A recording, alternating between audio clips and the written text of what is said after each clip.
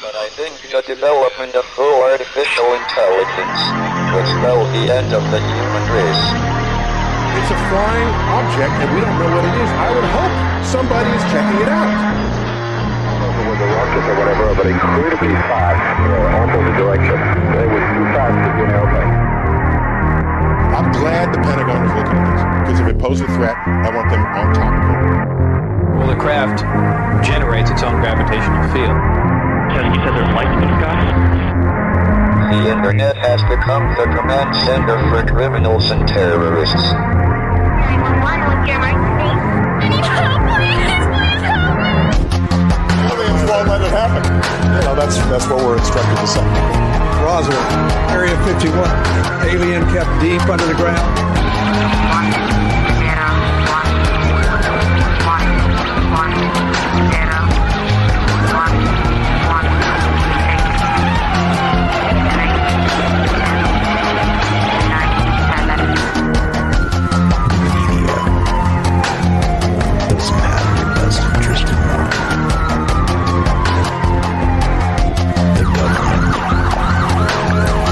Self-serving.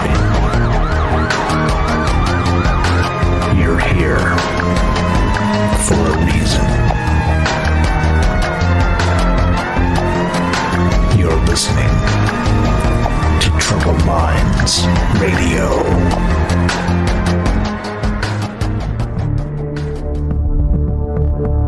Broadcasting live from a secret bunker just off the extraterrestrial highway.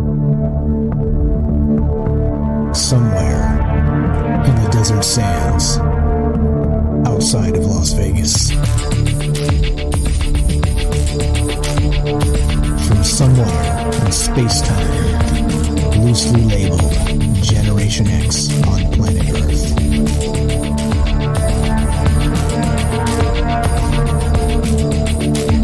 and asking questions of you in earnest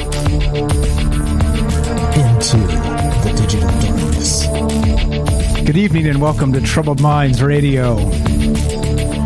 I'm your host, Michael Strange, and hello to all of you who may also have troubled minds.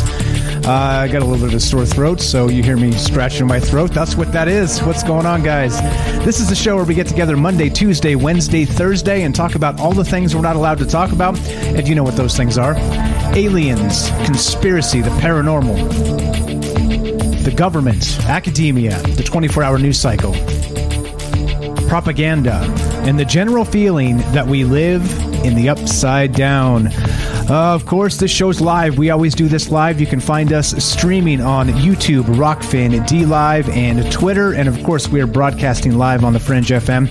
And as always, we're taking your phone calls as we discuss amazing things, as we discuss life as we know it and life as we don't, and much more than that. Of course, there's um, this, we kind of take a wide berth on this show about all the things we talk about because there's a lot of things to talk about. If you're uh, paying attention to the world around us, there are definitely uh, let's say um, troubling things happening in the world, and I think that's what's going on with this um, this topic tonight, which we'll get to, uh, and because we're talking about xenobots, we're talking about artificial life, and in some cases, well, I guess we're going to have to talk about and consider what the real definition of life actually is. At some point, do we have to reconsider that and uh, really just uh, take stock of what it means to be human, which seems like uh, once again, it, it, like the, this is this is what we do on a daily basis here. It seems like like almost every day something new comes out, whether it's going to be the metaverse or it's going to be xenobots and reproducing and artificial life and all the rest of this stuff.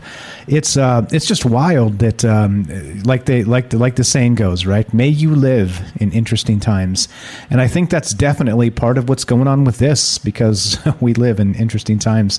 Uh, as part of uh, part of all this stuff, like we said when we get started tonight, uh, we are. Uh, I always say I have no inside sources. I just watch the news cycles and uh, talk about things, and I have lots of fun, lots of fine friends that uh, show up and contribute to the show, and those are my inside sources. Just uh, regular people, just you and me getting together, having a conversation, and that's what this is all about. So no no inside sources, no no secret CIA anything going on here. Just uh, a conversation, just between you and me and um, the rest of our friends. And so if you want to be part of the show tonight. Love to hear your thoughts on all this stuff, and you can reach us at 702 957 1037. That's 702 957 1037, and we'll put you on the show. You can also uh, go to troubledminds.org. That's the official website, and you can click the Discord link. It's always up there right on top uh, next to the phone number. So if you don't know the number, I read it, and you're like, whoa, what was that number I want to call? Just go to troubledminds.org. It's, uh, number is right on top, and the Discord link is right on top, and you can find us easily there. Uh, made for your convenience. Okay, so the thing is too uh, with regarding Discord, it's a what is it, right? A lot of people are using Discord now, and it's uh, it's a new way. Uh, remember, remember Skype? Remember how Skype used to be? Skype used to be a thing, right? Uh, well, Skype is no longer. I mean, I guess it's still a thing, but it's not a good thing. Uh, basically, if you you're, you know what Skype is, um, Discord is like Skype on steroids, right? You can share share uh, share links, you can share photographs, you can uh, stream your video, you can share your desktop in live live time. You can share all, all kinds of stuff, right? It's amazing. It's a chat client, it's a voice client. It's absolutely free, and we always talk about it because it's a good program, not because they sponsor us. It's just um, they're doing good work, and I think that that's what this needs to be. You know, we need to highlight people who do good work, and uh, that's why we're doing it. So if you want to join the show, we're also using it to do the talk show tonight. And uh, if you want to be part of that, again, troubledminds.org. Click the Discord link, completely free, as long as you have a uh, internet connection and you're in. Also, we have another Discord room running at fringe.fm slash chat. And one last thing, uh, download the Fringe app at the uh, whatever app store you use, whether that's Apple or Android. And there we go. I think that sums it up. That gets us to where we need to be tonight. I hope everybody's doing well. Happy Monday. And let's do it. Let's roll. Let's get to this because this is wild. This is one of those ones that um, it kind of happens and you, you shake your head and you, you know, ponder your existence. And that's what this is about, right? That's really what this show kind of is. So let's, uh, let's begin pondering our, our existence, shall we? Let's start with this. This is from USA Today, and there's a lot of places that reported this. I just grabbed this article because, well, uh, let's just use this one. Uh, headline is this Scientists made tiny xenobots out of frog cells. Now they say those robots can reproduce. What? Say what? Say that again. Yeah, these robots, these tiny robots, are actually reproducing, and it was an unexpected behavior that came about. We'll, we'll read some of this article as we go tonight. But I, I think that the crazy part here is, like I said, as we begin to think about these things and consider what the future may hold, I think time and again, day by day, it seems like we're reframing what it means to be a human being, right? Uh, regarding consciousness, regarding is there a soul, regarding what life actually is. I think there's a lot here and a lot to talk about, and uh, that's why we do it. So, uh, well, welcome to it. Welcome to it. Uh, let's see, where are we at? Let's go to. Uh, let's do this. Let's let's just read a little bit of this. Uh, life finds a way. And same goes for even robots, according to a group of scientists who say the first living robotic life forms can reproduce. In January 2020, a team of scientists from the University of Vermont Tufts University and Harvard University took stem cells from African clawed frog embryos and formed them into tiny living creatures called xenobots. Yep, the xenobots, which are less than uh, 0.04 inches wide, were able to move on their own, communicate amongst, amongst each other, and heal themselves from an injury, making them the first ever living robots. And we talk about robots on this show quite often. We talk about, uh, of course, larger. Ro- uh, uh, we got a moderator in here that can maybe stop the spammer, please. I appreciate that.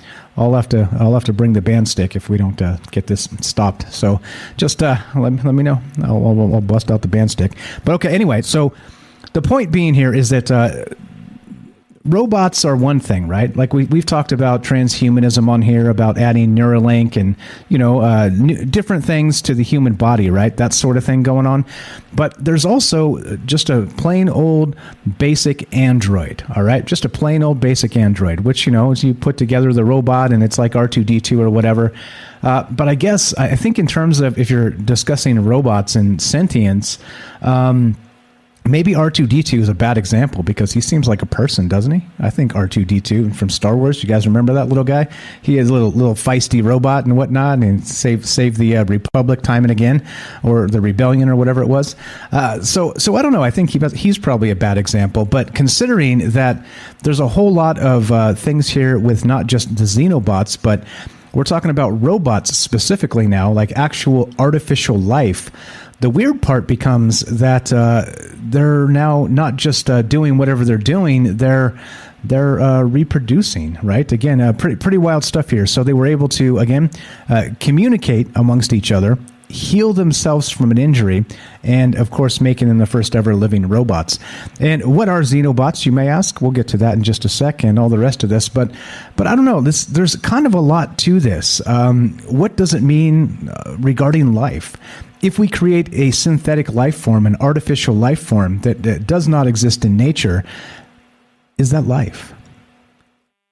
what is the definition of life right? I think that uh, you have to you have to kind of, kind of like i said reframe what it means to be alive what it means to be a person in this day and age. And this is this is a pretty wild example of uh, of where we begin because well what what the heck does it mean? So so the question tonight this is what's on my mind right? Clearly the xenobots uh, what's on my mind is this the first question is how do we define life that's that's the question tonight. And of course, when we're talking about this and these tiny xenobots uh, made of frog cells, and you know, uh, being able to uh, communicate with each other, repair their own damage, and all the rest of this, uh, what what about uh, does this constitute life?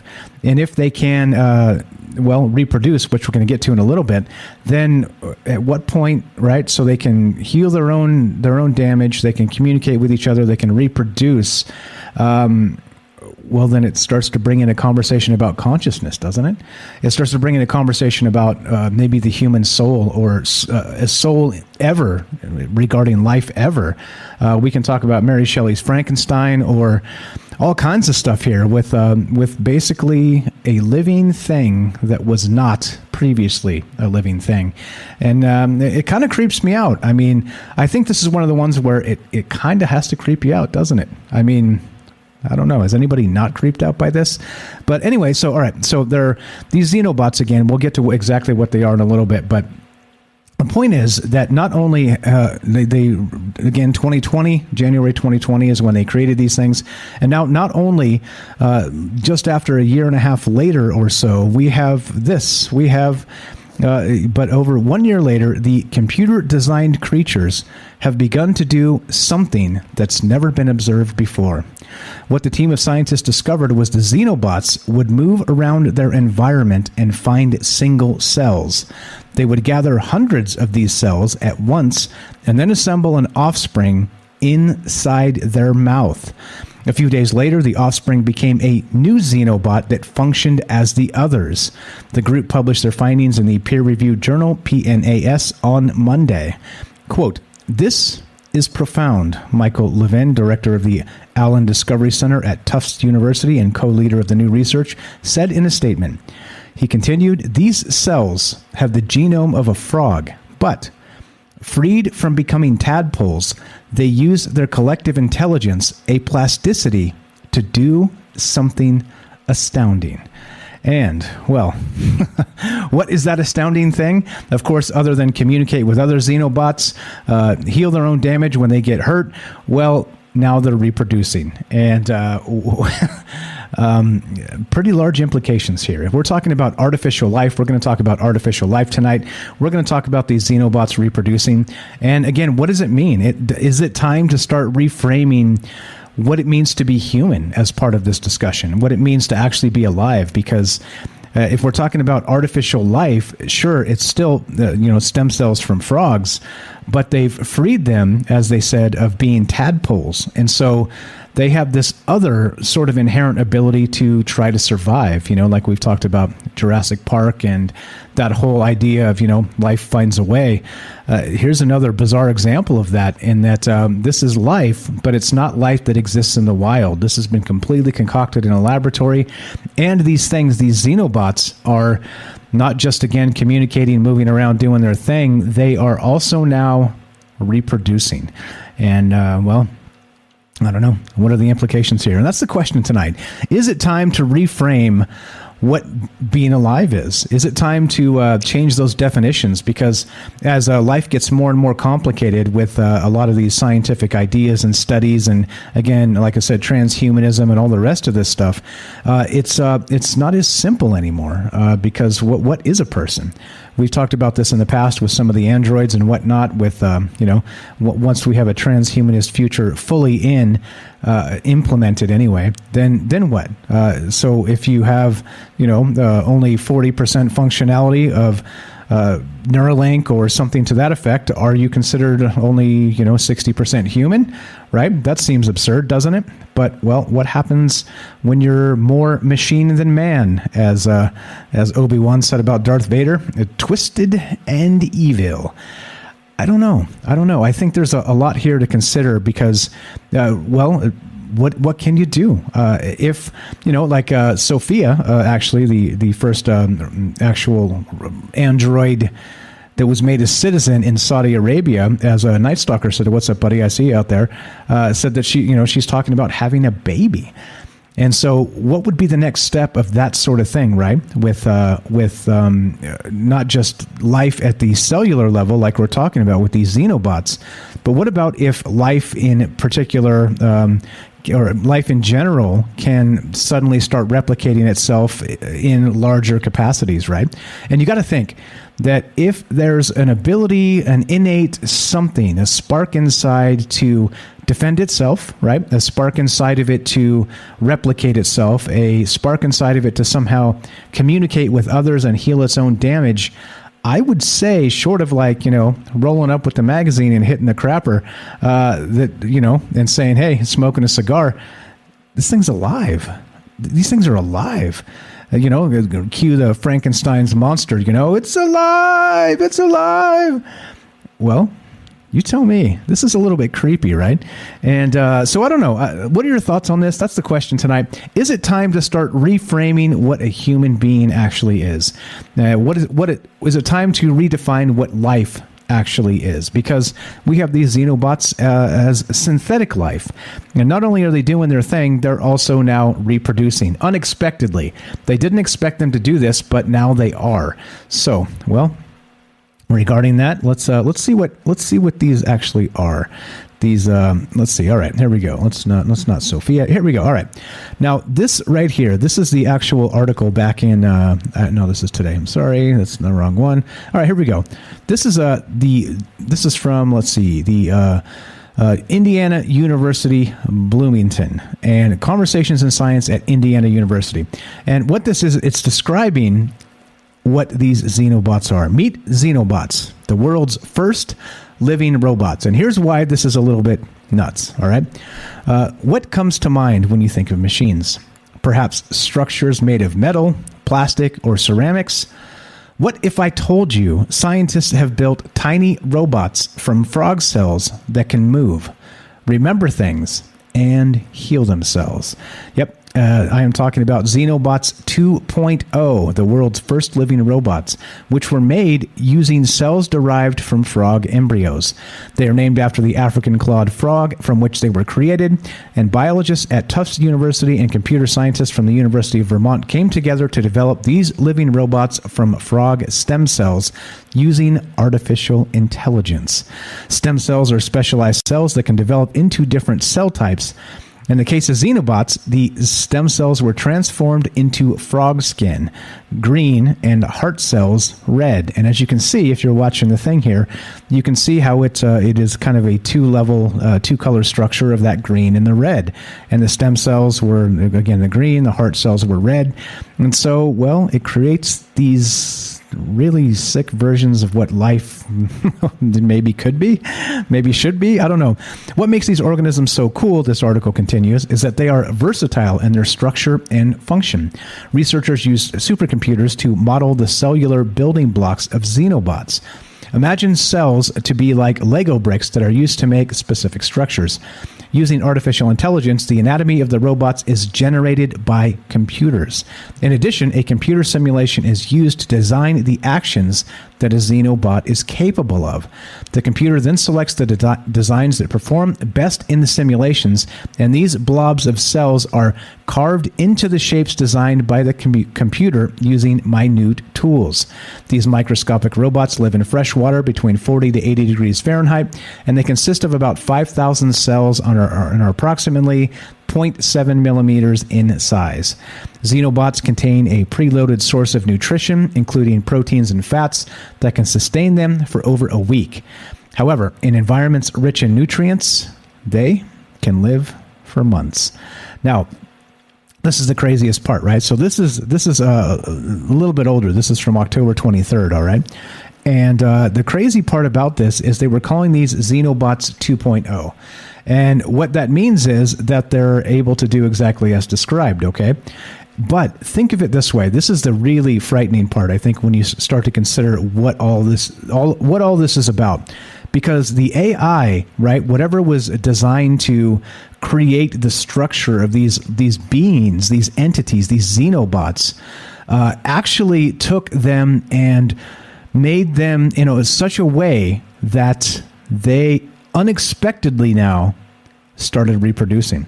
So now the craziest part, right? So so you got to consider that the scientists even behind this, behind the AI that was that created the AI to create these xenobots from the frog cells, from the frog DNA, they didn't consider that it was even possible for this to happen. And so as a result, you got to think the AI knew something about life and about reproduction that we have no idea about.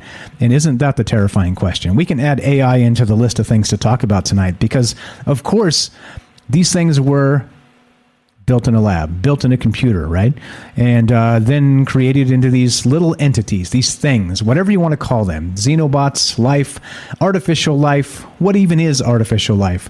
That's what's on my mind tonight. That's the topic of discussion. And what do you think? I think that's the question here. As we start to figure out what is going on in this world we live in, well, the first living robots, all right, that's fine. That seems fine, right? There's no problem here. But then, but then, unexpectedly, they start reproducing.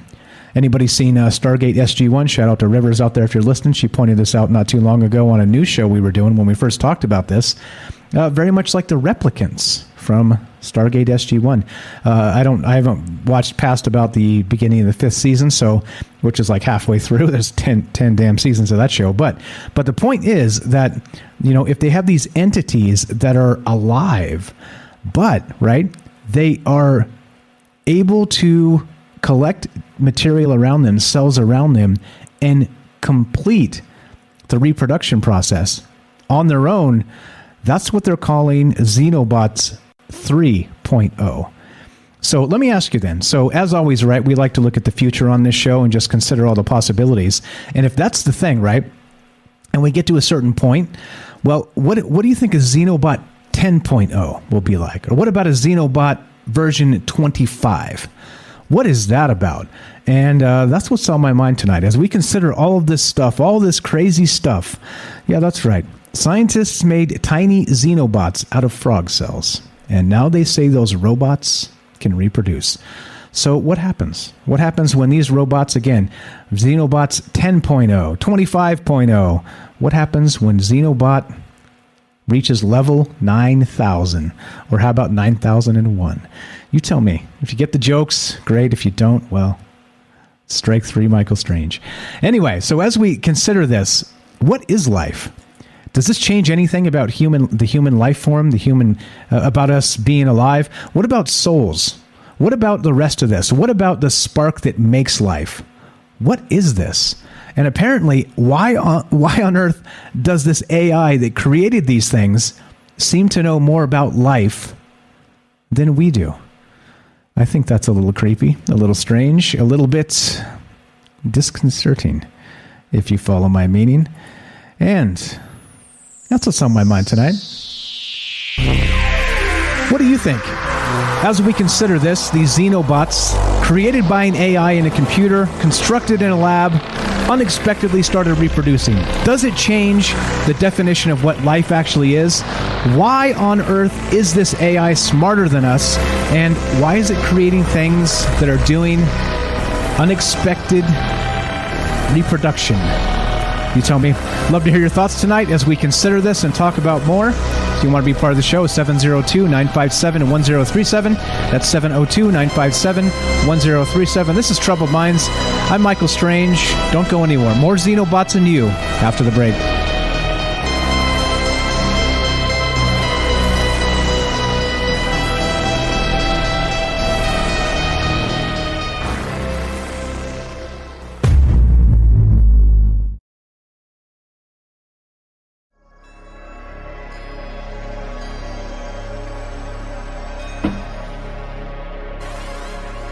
Welcome back to Troubled Minds.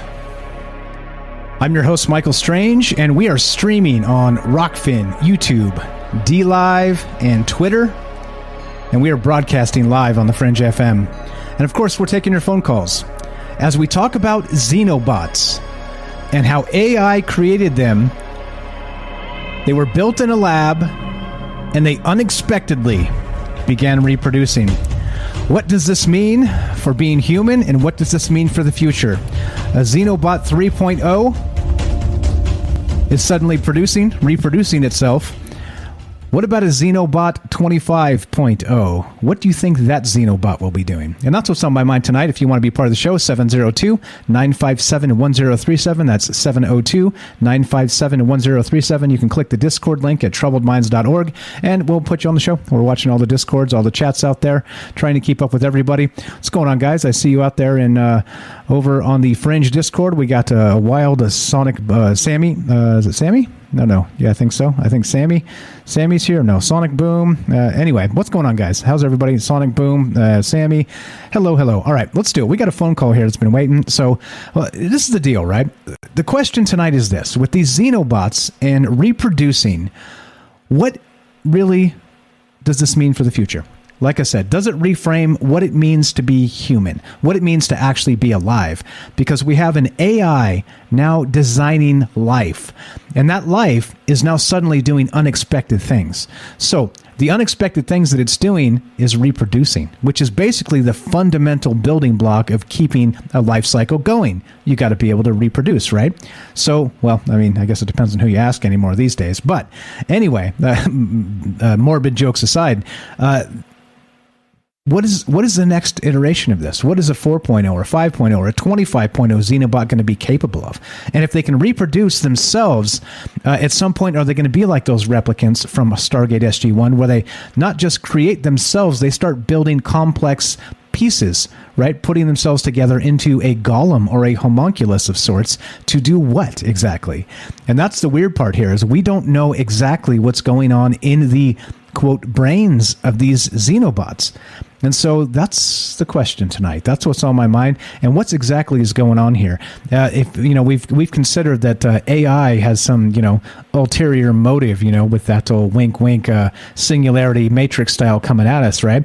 Like I'm not so sure I agree 100 percent with that, but if you're actually through artificial intelligence creating a cell structure that's able to basically pull off the basic stuff that all life seems to do, then, um, well, is this alive or is this not? So, we're going to get to artificial life tonight. We're going to get to the rest of that as we consider this and uh, what does it mean? And uh, that's what's going on. Love to hear your thoughts on this tonight. 702 957 1037. Let's go to Joseph in Iowa. What's up, my friend? Welcome to the show. How are you tonight? Hey, how's it going? Uh, doing very well. Doing well. Uh, what do you think, man? What do you think is going on with this Xenobot stuff? Does this freak you out, or is this like, ah, come on, Mike, this is no problem? It's 2021 for crying out I mean, yeah, I mean, everything kind of gets me, honestly, it's like I'm optimistic, so I look at it all positively. Like, you got Xenobots, so I look at it in a way like you, it's a good thing, you know? Like, you got possibly something that can help you out.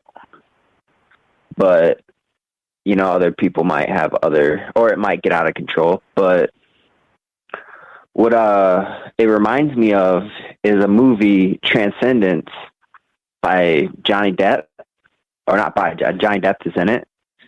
And uh and uh and they have like at the end of it like he eventually he merges with AI and at the end of it, he eventually gets to the point where he has microbots that populate the clouds. The they're just everywhere. They're in the water. They start in the water and then they get everywhere else. And they operate off of a vibration and they have consciousness in them. So like like let's say there was a battle, like in the movie there was a battle and there's like solar panels getting blown up and people are going down. At that same time, those xenobots were coming out of the ground and repairing the solar panels and repairing the people. And I think I think that's the crazy part of this, right? So so what would be the next iteration of that? And again, if they're smart enough to make repairs and things like this already, like maybe that is exactly what you're talking about. Maybe that's a Xenobot 25.0 and they're going to be able to not only evolve Yeah, themselves, right? Like evolve themselves out of the petri dish, but evolve themselves into the real world and uh, start problem solving, right? Built-in consciousness like you said through through frequency. Is it what's going on with that? Well, in the movie, yeah, like what you can hear in the first interaction with the AI, he gets uh, shot because he didn't, he wasn't walking away. He kept walking forward, and they shoot him, and like you can hear this, and like you can see stuff coming out of his uh out of the ground, and and like he was like, "Why are you afraid of this?" I don't know why I remember that part, but he was like, "Why are you afraid of this?" And it sounded like the guy before he merged with AI. That's So pretty like wild. he was in a collective consciousness at that point. Yeah, and so you got to think, right? When you get these like uh, small life like this, they they seem to be more into the uh, you know sort of like the Borg, right? Like uh, go go back to some other fiction like the Star Trek Borg, where they they don't really value an individual; they value the species surviving. And so you know, well, I guess we don't really know that because we can't ask them, but it seems like that's the case. It's more of like that hive mentality, right? Where you know, kind of like a virus, you would expect they you know it mutates to just try and ca- continue uh, surviving, right? They need hosts and all the rest of this. But if we're talking xenobots, I mean, again, uh, do you think it will be possible one day for them to be able to just maybe build legs for themselves and just get up and walk out of the little petri dish? I mean, I that would be awesome Yeah, right. if that. yeah, I I think. Uh, uh, yeah, I don't. I don't really. I wouldn't be able to say, but uh, it seems like, like it seems like they're they're th- the technology is there. You know, they're doing like mic. They're making microorganisms move and stuff in a specific way. I don't know. Yeah, pretty wild, pretty wild. Uh, what about the AI part? So, so the the creepy part about this, like one of the super creepy parts, is this wasn't actually designed by people. It was uh, generated the the actual cell structure of this thing, and the, even the shape was picked by an AI that seemed to replicate things, or or at least create Yeah, them. because for- it would Yeah, go ahead, go ahead. it would be able to run like a simulation like that's the same thing that happened in the movie. He turned into an ai and then the ai like almost like doubled down and then doubled down and then doubled down in intelligence as it moved on and then surpassed humans in an instant. Something like that. Like i don't know. I feel like if something like that would be possible why isn't it already made? Yeah, well, You know? well, uh, or uh, if they're just figuring this out now, exactly like uh, like we always talk about this, right? You talk about military applications of things like this. Imagine if you had these sorts of things in a battlefield that could, as you described, maybe kind of come up out of the ground and like just repair something, right? Like kind of auto auto repairing things or uh, problem solving on the fly, right? That would that would be an incredible technology. And so, if if we're just discovering this now through AI, well, what has DARPA been working on? You think they've been doing stuff like this for military applications for dozens of years at this point? That's the craziest part, right? Yeah, I couldn't imagine. I mean, ever since a kid, I always said, like, as long as the power's in the right hands, like, we're not dead yet. Like, you know, that's my thought, you know, because I used to have pretty crazy ideas. Maybe that's from TV and stuff. You know, they got us watching sci-fi since little kids, but you know, that's that's what I always thought. As long as the power, like something, something that's running the system, is uh, I don't know. ma- Maybe it's not. Maybe it's not right. You know, I was watching a podcast the other day. I don't know. Maybe it was you where they said the pyramid should be reversed. Just inverted, turned upside down. That wasn't me. Yeah, like so, like we have like rich people calling the shots. So we'd oh. have Right. a different level. we- The levels would be reorganized in reverse, but not completely. It would be set up differently. Yeah, that makes sense. Just a whole different social structure. Yeah, for sure, for sure. Um, pre- pretty, pretty crazy stuff. I don't know. Uh, uh, where do you think this is headed? In- the end, where do you think that uh, these these Xeno- xenobots will be in like ten years? Do you think it will be uh, sort of like that movie you're describing? Which movie was that again, by the way, that you're referencing here? Transcendence. Transcendence. Okay, I've never seen it, but uh, so so do you think we'll be anywhere close to that in ten years if these things keep doing whatever they're doing, or do you think this is just still sci-fi at this point? Uh, in 10 years, I mean, you never know. Amen to 10 that. years, you never know. Hopefully, they're on other planets making uh, pyramids for us or whatever. Yeah, right. takes to- Inverted pyramids. Heck yes. With the Yeah. uh, the all seeing eye buried underground. Perfect. Perfect. Joseph, you were the best. I appreciate the call. Uh, Joseph here has a YouTube channel called called Hydro Hose. Check it out, guys. I'll I'll get that link added for you, Joseph, as well. Yeah. Okay. I appreciate the call. I've Thanks for getting like, us started tonight. stuff. Uh, sorry. Sorry. Go ahead. I, I've been doing like raps. Okay. uh, Bored. Can you do me a favor? songs and stuff. Yeah, cool. Share share, share those in the music thing on uh, the music file on uh, the Trouble Minds Discord. I appreciate it, bro. Thank you for the call, and uh, we'll talk to you soon. Yeah. Thanks, man. Have a great night. There you go. There you go. Simple as that. Uh, you dial the phone number, we'll put you on the show. That's Joseph in Iowa, and he's got a YouTube channel called a Hydro Hose. Check it out. Good stuff. Um, now, now, look. This is this is the thing, right? So, just to reframe again, we've got these xenobots. All right, they were created in a cellular structure. All right, simulated to be the best form for life. All right, uh, used uh, from African frog cells, and the AI created them in such a way that they just started reproducing.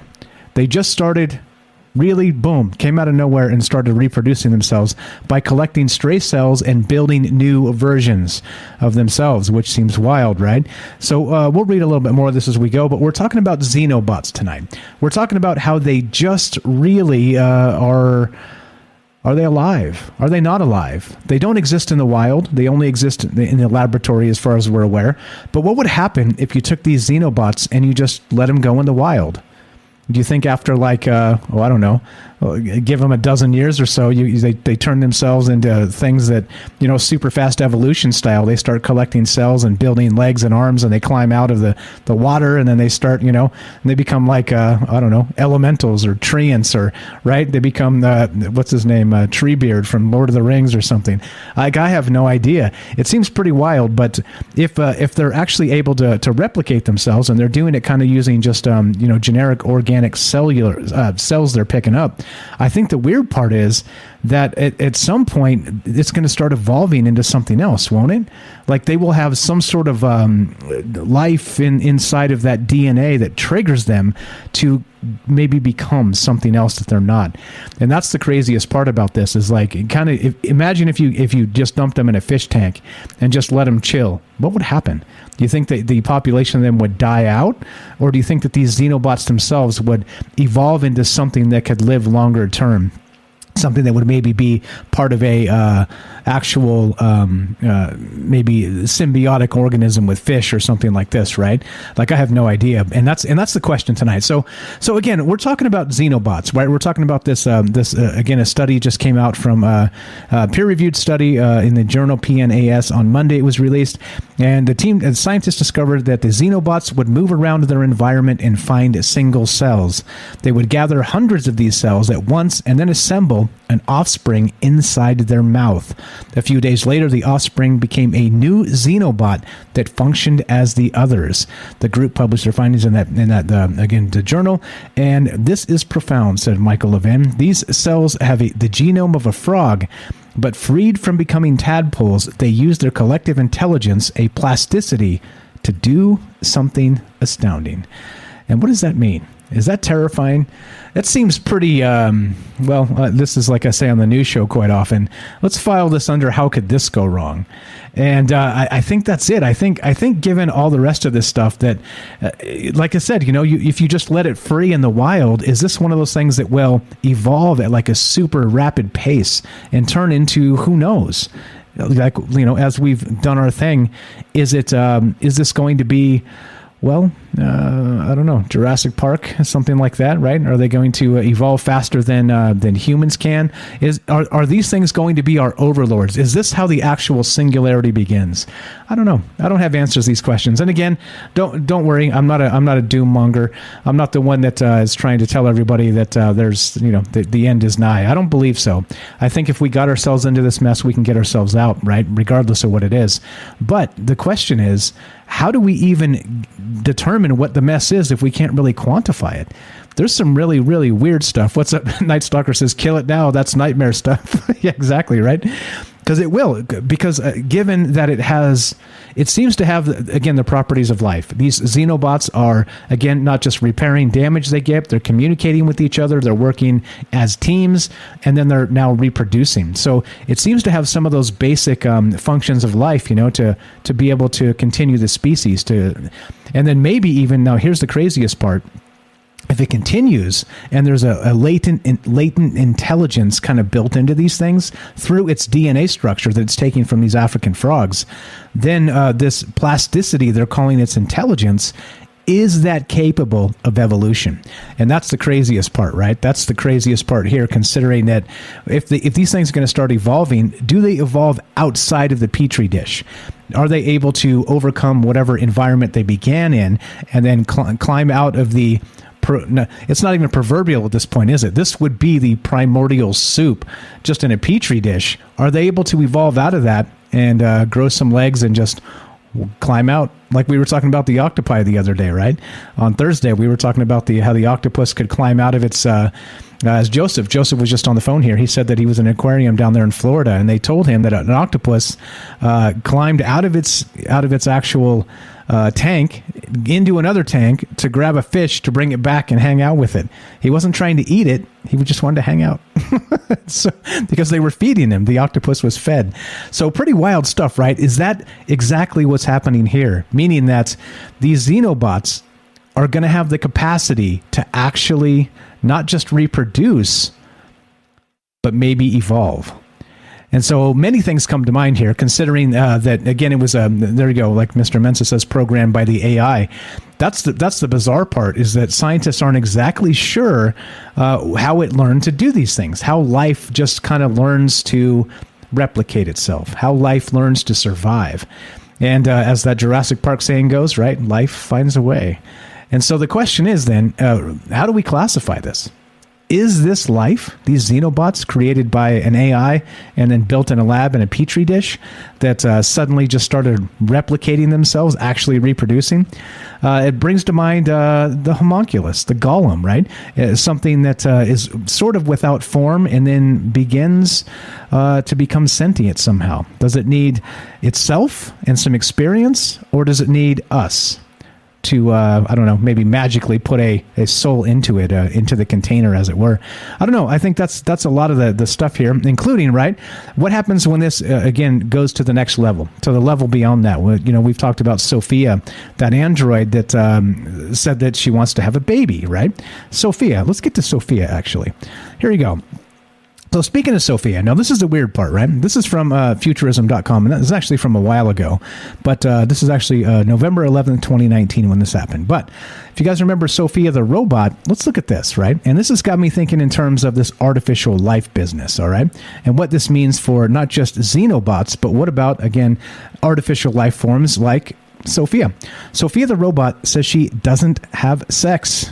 Confusing creators. Uh, yep, here we go. So last week, again, this is from uh, November of 2019. Last week, world famous robot Sophia shared with the crowd at the 2019 Web Summit that she, or it, or whatever, doesn't have sex. Yep. And uh, yep, there you go. In case you missed it, someone asked Sophia last week whether it had ever been in love or was even capable of doing so. According to Punley, Sophia went off script. Many of the robot's conversations are at least partially written out in advance. See, I told you, it's not real AI. But when it responded, no, I don't do sexual activities. All right, this is Sophia the robot. And you guys, right?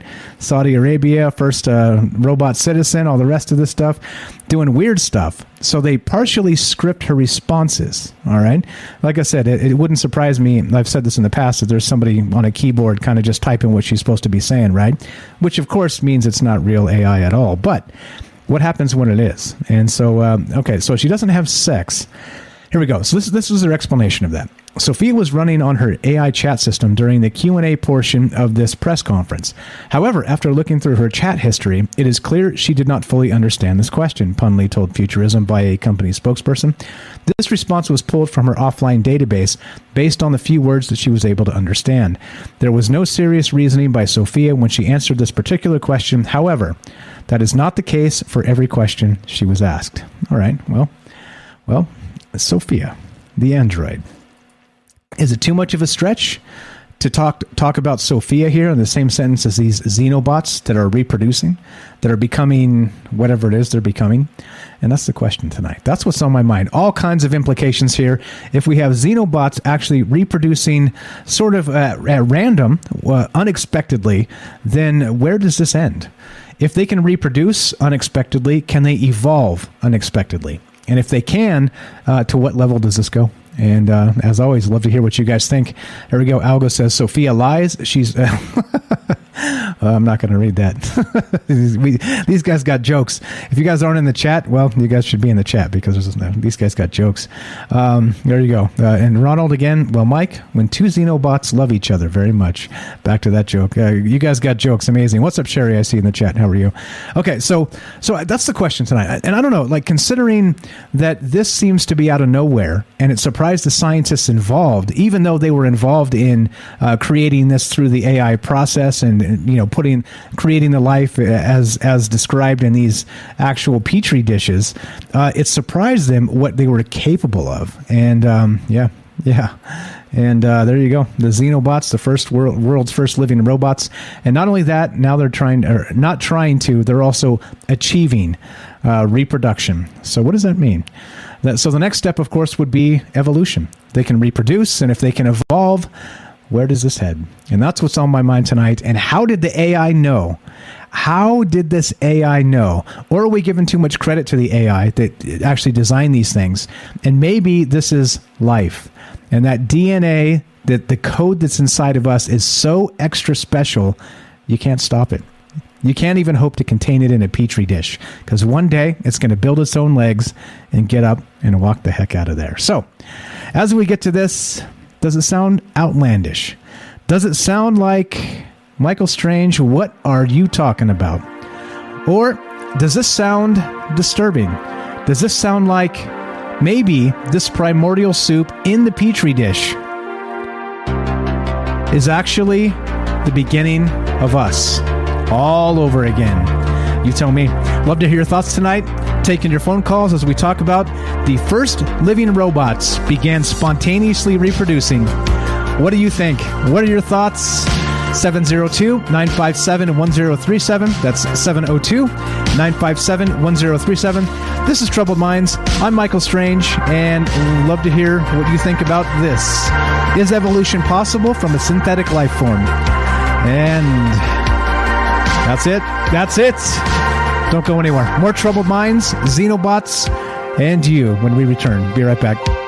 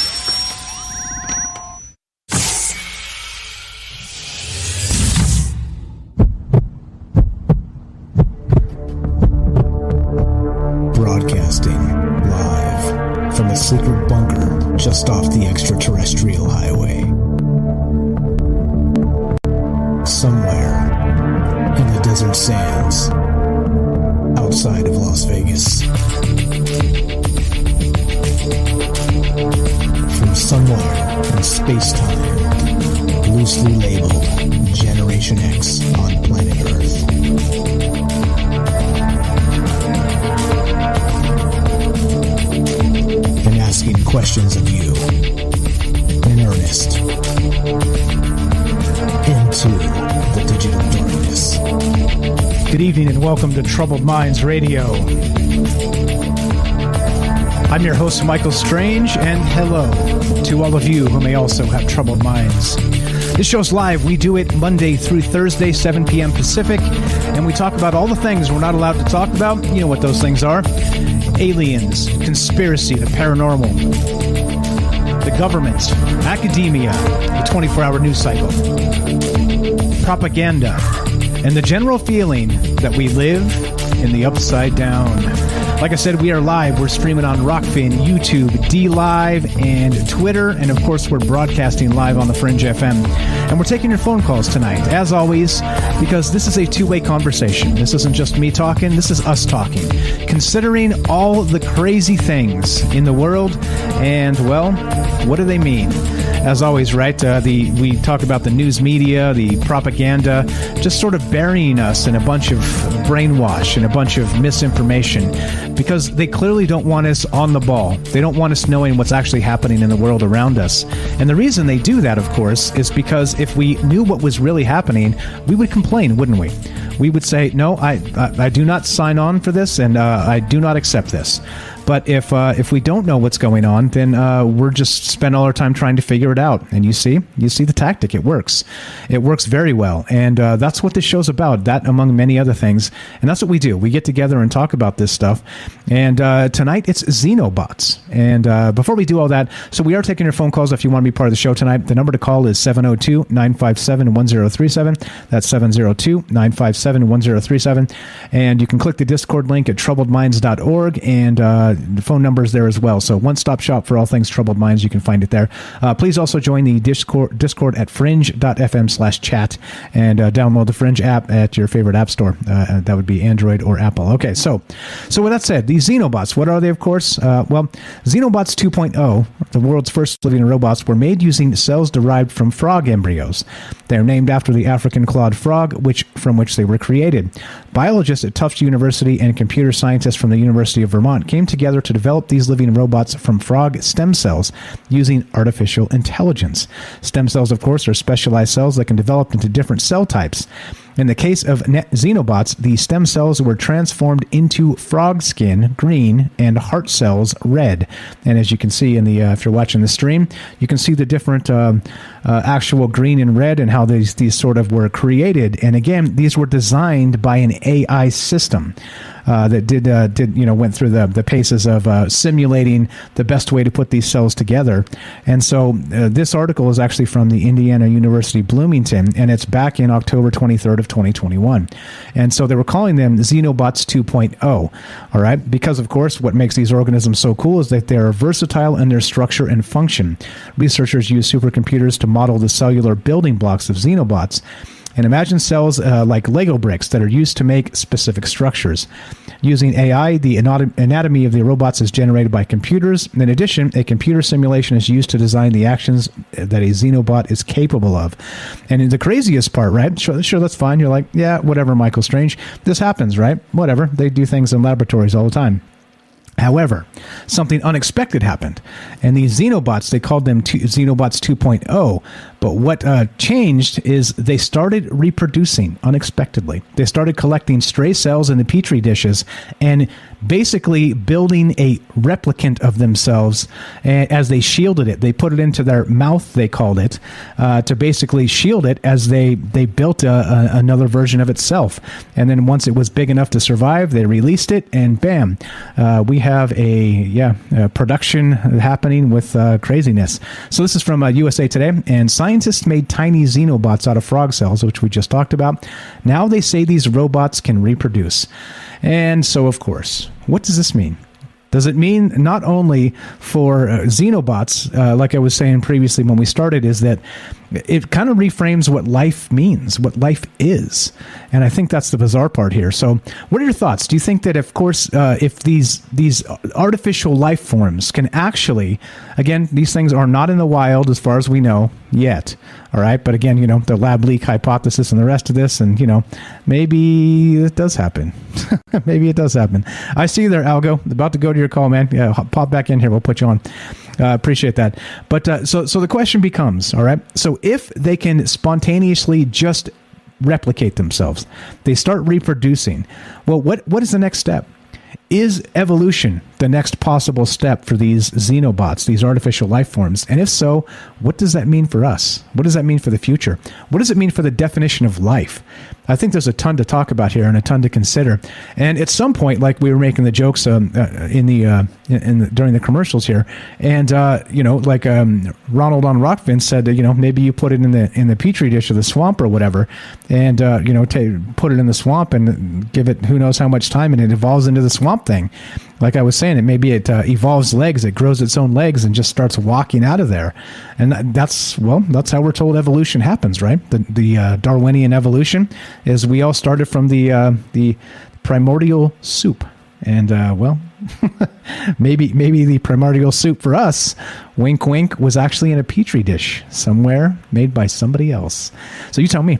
You tell me. Love to hear your thoughts if you want to be part of the show tonight. 702-957-1037. There's a lot here. There's a lot of implications regarding the xenobots and what this means for life and evolution and all the rest. So yeah, yeah. Uh, so we're going to keep on trucking and considering this as we go to our good friend. This is Mike in Colorado. Algorithm. What's up, my friend? Welcome to the show. How are tonight? Hey, I'm doing well. Thank you for taking the call. Sorry, I had another call. I had to jump off real quick. But um, so you're, I'm skeptical in a way that you can probably help me with.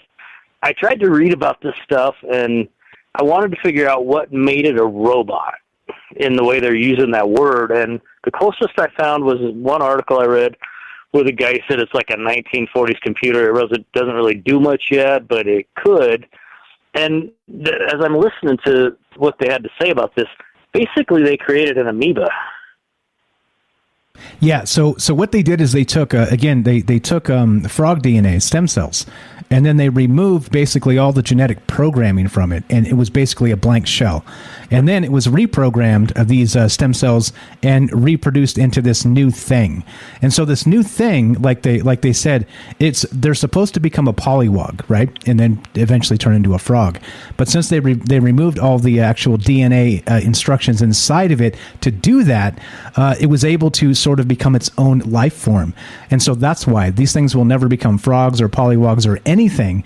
But there still has some some. Uh, so you're correct in the sense that they created a an amoeba of sorts, but it's uh it's alive using the basis of the frog DNA that it doesn't have. So there's some latent something left there uh, to, to kind of make it um, want to survive, to want to replicate, because that, that's built in. And that's what these things are doing. So they're not, technically, it's not a robot, even though it was created in a laboratory. It is an organic cellular thing. But it's it's alien. It, nothing. This has never been created on Earth before, and like I said, released into the wild. So that's as far as I understand it. I could be wrong. Clearly, I'm not a scientist. I don't even have my own petri dishes. But uh, well, unless you could put if you could put beer in a petri dish, We I guess. get, we gotta send you a lab coat. there you go. Send me a lab coat. But there we go. I, I think that explains it. If I missed something, let me know. Well, no, that does explain it very well. And I think that for me, when I heard you speak about it that way, it took that robot connotation out of my brain. It's not programmable necessarily. Um, and, and then I started thinking of the spiritual implications of the life force that runs through this realm that people call different things. Some call it God, some call it creator, some call it something else. I wonder if they like managed to harness a little piece of that and now there it is and it's it's saying fine you want me in this form great i'm going to make a bunch of me i'm not sure but that's what it kind of seems because i think that's what men and women do you know? They just kind of they they show up here and they learn the place and they like it and they're like well uh, let's make more of us. So i see a ton of similarities from and maybe spiritual is the wrong word or i don't know which word but i can see a ton of similarities to that. I think the implications are at this point not nefarious in any way because I mean you put it in the garbage you put it in the garbage disposal and hit the button and you know it's over. So but but I think what science is trying to accomplish may not be a bad thing like your other caller had mentioned. There could be a point where the replicants from SG1 really liked us because we were nice to them and they make us really cool shit and we don't have to do anything. So oh sorry didn't mean to cuss That's all right. That's all right. Well, okay. So, so if that's the case, though, uh, the, the bizarre part is this was unexpected. This behavior was completely unexpected, and so again, I'm with you. Like uh, trying, trying to again with a troubled mind, still remain positive through all this, and try and make sense of the world. But when you have something that you ne- has never seen nature before, you create this again out of natural substances. Again, again, the frog tissues and the rest of this stuff, the frog stem cells. But then it starts doing things unexpectedly, right? The question becomes, what's the next step of that unexpected behavior? Like suddenly, like within a year, we're like, whoa, what the heck? We just created these things, and within a year, they start reproducing. So, what is that next step? Is there? You think there's an evolutionary process here that maybe, uh, like I said, maybe they'll start building legs for themselves and actually step out of the petri dish at some point? You know, great question. Um, I would have to know what the AI was programmed to do. I don't know if it was just mechanical function to get the stem cells and put it together. Um, when I go back to the amoeba reference, the amoeba hasn't changed since we found it, so I don't know that it's on a real evolutionary fast track. And unless there's something programmed into those stem cells, and I, I couldn't even conceive of how that would be possible, I'd wager that they're it's probably only going to just replicate itself over and over. Hopefully, it doesn't turn out to be toxic to, like Jennifer was saying in the chat, that hopefully it doesn't turn out to be toxic to the environment and, and cause a, a ripple effect that they don't see coming. But I think part of why the scientists didn't expect it is same way they didn't expect some of the consequence of building the first, you know, atomic bomb if they had guys like you or some people in who follow you in a room who do have some connection to what I think is the life force of this place, and they sat around and they said, "Okay, so here's what we're going to do. We're going to take these stem cells, which basically can create anything. We're going to pull the DNA out. We're going to give it a little program. We're going to put it in a healthy environment. What do you guys think is going to happen?" I bet one of your listeners probably would have said, "You know what? They're going to replicate." Yeah, because I mean, don't think that way. Exactly, exactly. in terms of life force. Be, exactly, and and, and I, I love the way you put that. So so somehow, even though they've removed their, their you know basic life building instruction here, uh, it, it's they're able to tap into it anyway and create even if even if it's removed entirely the frog DNA, so it's not going to turn into that tadpole. It's still taps into something and still has all of those basic functions as it starts to grow and learn. And that's the bizarre part. They just started doing this spontaneously. They didn't immediately do this. They would just die. They would just die. They would just die. But then they started surviving longer and longer and longer, and then boom, uh, once they had enough uh, nutrients or sustenance, they'd survive like a week, and then they started replicating. And so that's the weird part here is that uh, th- that unexpected behavior from no DNA. Clearly, I mean, it's from the, the stem cells that they've they've kind of flushed, they've cleaned. So it's not supposed to be a polywog, but it's, it's wild, man. What are they tapping into? I, I love the idea that maybe there's something out there. there. Yeah, trying to survive exactly, and so it's built in. I don't know, man. I, I think uh, these are life. This is not this is not a robot. This is this is actual like organic life. It's just kind of Frankenstein style, right? Like uh, taking a bunch of pieces of uh, some other things that shouldn't be together, and it's wild, man. This is a wild world we live in, eh? It totally is, and what it reminded me of when you were talking about that, and we kind of both agree that whatever life force is wants to survive. It reminded me of this thing in John or the scene in John Carpenter's The Thing, where the blood wanted to survive. You remember, did you ever see that movie? I never saw that, no, but I like the idea. oh, they were trying to figure out who was the monster and who was the thing, and and they came up with this test to where if you tried to kill the blood, it would survive because of some different things that happened in the movie. And so they got everybody's blood and they put it in petri dishes, and then they heated up uh, copper wire and they put it into the petri dish. Then when it just got cold, then we knew that was a human.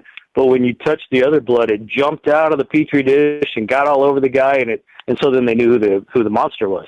If you like kind of scary, intense movies, highly recommend John Carpenter's thing. But anyway, that was a, a transgression that I didn't mean to take. No, no, it's um, good. Yeah, so it is life. Of course, it's life. Yeah, What's no, going to become, I have no idea. Yeah, and I think that's the that's the scary part, right? So, and I don't I don't know about scary. I mean, there's supposedly they're saying they can you know uh, kind of program them to do particular things in the computer before they put them together and put them in the, the petri dish, right? Kind of Frankenstein style. They're, and so what they're trying to to use these things for is what what we're told is that they're they're going to be able to put them in environments like an oil spill, and they're going to create these things that will actually devour the toxic substances in the oil spill and be you know and and kind of clean it up organically. But then what happens to these things again, right? What, what's the next step and the next step after that? I think it gets a little bit crazy. I don't know predictions in ten years. Yeah, we better be very careful. Yeah, yeah, Do I have a prediction in ten years? yeah. Ten years for xenobots. You think they'll be walking and talking? Oh no. Um, I, I don't think you'll be able to purchase them in the open market. I don't know that they'll get to that phase where they can be that beneficial to clean up oil spills and so forth. But if they do, and if life itself can can just create itself with no DNA and continue to survive, be mindful because it might actually become. I mean, it, it's probably sentient in the way that your cat or dog is, to where yeah, they don't speak English, but you use the right voice inflection, and they know what you're doing. They know when they're getting their treats, you know. So we we may have a little pet xenobots, but I don't know. We'll see. We'll see. All Thank right. you for taking my call. Thank you for the good show too. Hey, uh, pleasure's mine. Thank you so much. Everybody give Algorithm a follow. Uh, I'll drop the link in the chat. Thank you so much for calling, Mike. Pleasure. I'll talk to you soon. Yep. Talk to you later. Thanks a lot. There you go. Looking for predictions. What do you guys think? So these uh, these things actually have uh, have done what they do, right? They've replicated. They they uh, unexpectedly, spontaneously, they've replicated. All right. Uh, scientists are surprised, and again, they've been programmed by an AI. Right. This this these things were designed in a computer, and they just started replicating. And so th- there's a lot of questions here, right? It's again, it, it can, brings to mind like what the actual definition of life might be, and um, of course, what's the next step? The next step would be if you can replicate, then you want to evolve so you can continue surviving, right? And uh, yeah, so a lot here, a lot of crazy stuff. Great call, Algo. Appreciate that. Still trying to dig up your show, your show here so I can uh, link it in the thing. But uh, looking to hear from you guys. What do you think? 702 957 1037. That's 702 957 1037. There we go. Algo Rhythm linked in the chat. If you guys uh, would please give him a follow. Great dude. Uh, I was on his show uh, last week, uh, not last week, but the week before, something like that. Anyway, check it out. You'll find it there. And uh, if you want to hear a great conversation between a couple great dudes, but I'm biased. What can I tell you? I am biased. But yeah, for sure. Um, and and I, I don't know. I think that's the question tonight. Wh- what does all this mean? And if if they start evolving, uh, so again they they rep, reproduced unexpectedly, spontaneously. So what's the next step? Clearly, it would be evolution. Clearly, but what does that mean? What will they evolve into? And like Algo said, I think it just depends on, um, well, clearly what, what they've been programmed to do. So that that's what they're we're told is they're going to use them for, you know, cleaning up uh, toxic spills. They'll they'll program to eat the toxic stuff, right? And so they're going to be able to just pour, I don't know, gallons of these like xenobots into these particular areas, and they're going to clean up the organic mess for us, right? Organically, and then just I guess die or something. I don't know.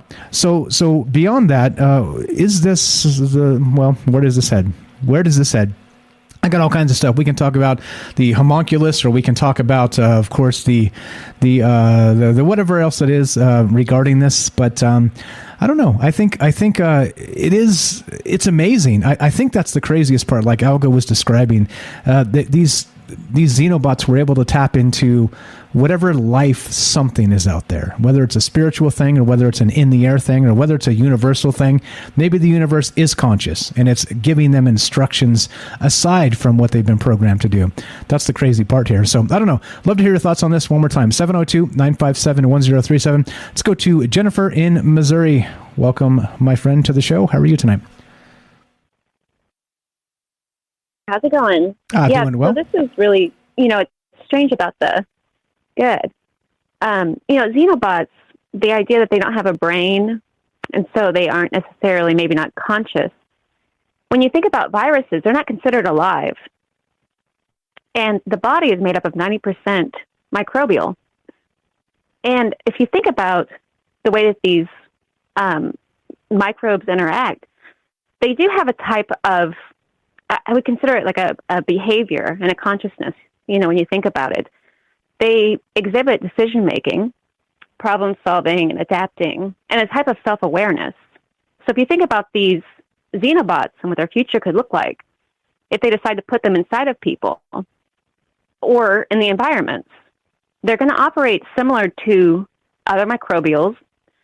And you have to wonder what if the viruses or bacteria in our own environment decide to infect these other these xenobots or, you know, would that be something that could happen? Could they, because they are using stem cells from living organisms already, could viruses or organisms even take over these xenobots? Or even in the reverse, should the xenobots have this kind of consciousness and self replicate themselves, similar to the way that a, a microbe or a virus do, then you have to wonder if they're using up what kind of behavior would they display and what would the effect be on the host?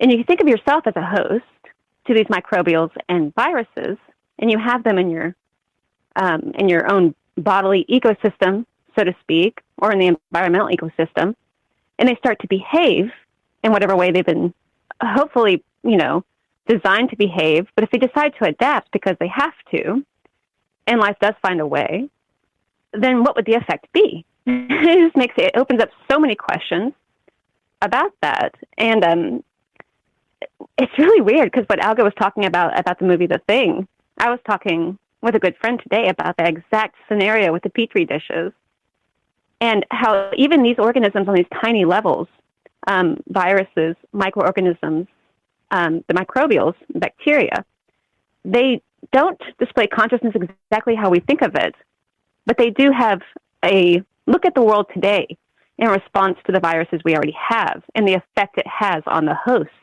and the entire environment. If you think about these things on that level, that even though they aren't conscious, their effect is felt, and the ripple effect, so to speak, is it's immeasurable. The the effects of it, and so you'd have to wonder with these, because as right now, right now it's harmless. There's in a petri, they're like in these little petri dishes, very delicate. But should they become resistant, as things do, and you know what would be? Yeah, we we don't know the outcome. Exactly. But hey, it is uh, fantastic. You want to hang on, or do you want to? You got to go. Up to you. No, that's that's that's it. That's all. I just was thinking about what if they were used by other viruses or other bacteria, or or or what? You know, what could the effect be of that even? Gotcha. Appreciate yeah, it. so many so many things. Thank you so Yeah, much for calling, Jennifer. You're the best. Give her a follow. Thank you, thank you, thank you, thank you. Uh, link in the description. Jennifer's got a YouTube channel. This is Troubled Minds. Don't go anywhere. More after the break. Be right back.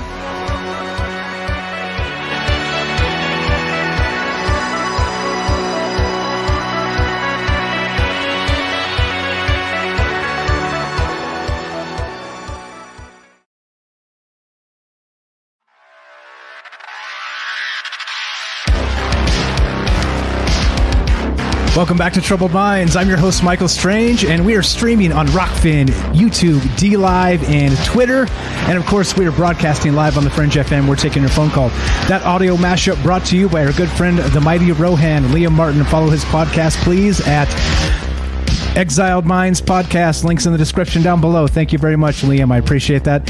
And as we continue tonight, we're talking about, yeah, you got it, Xenobots.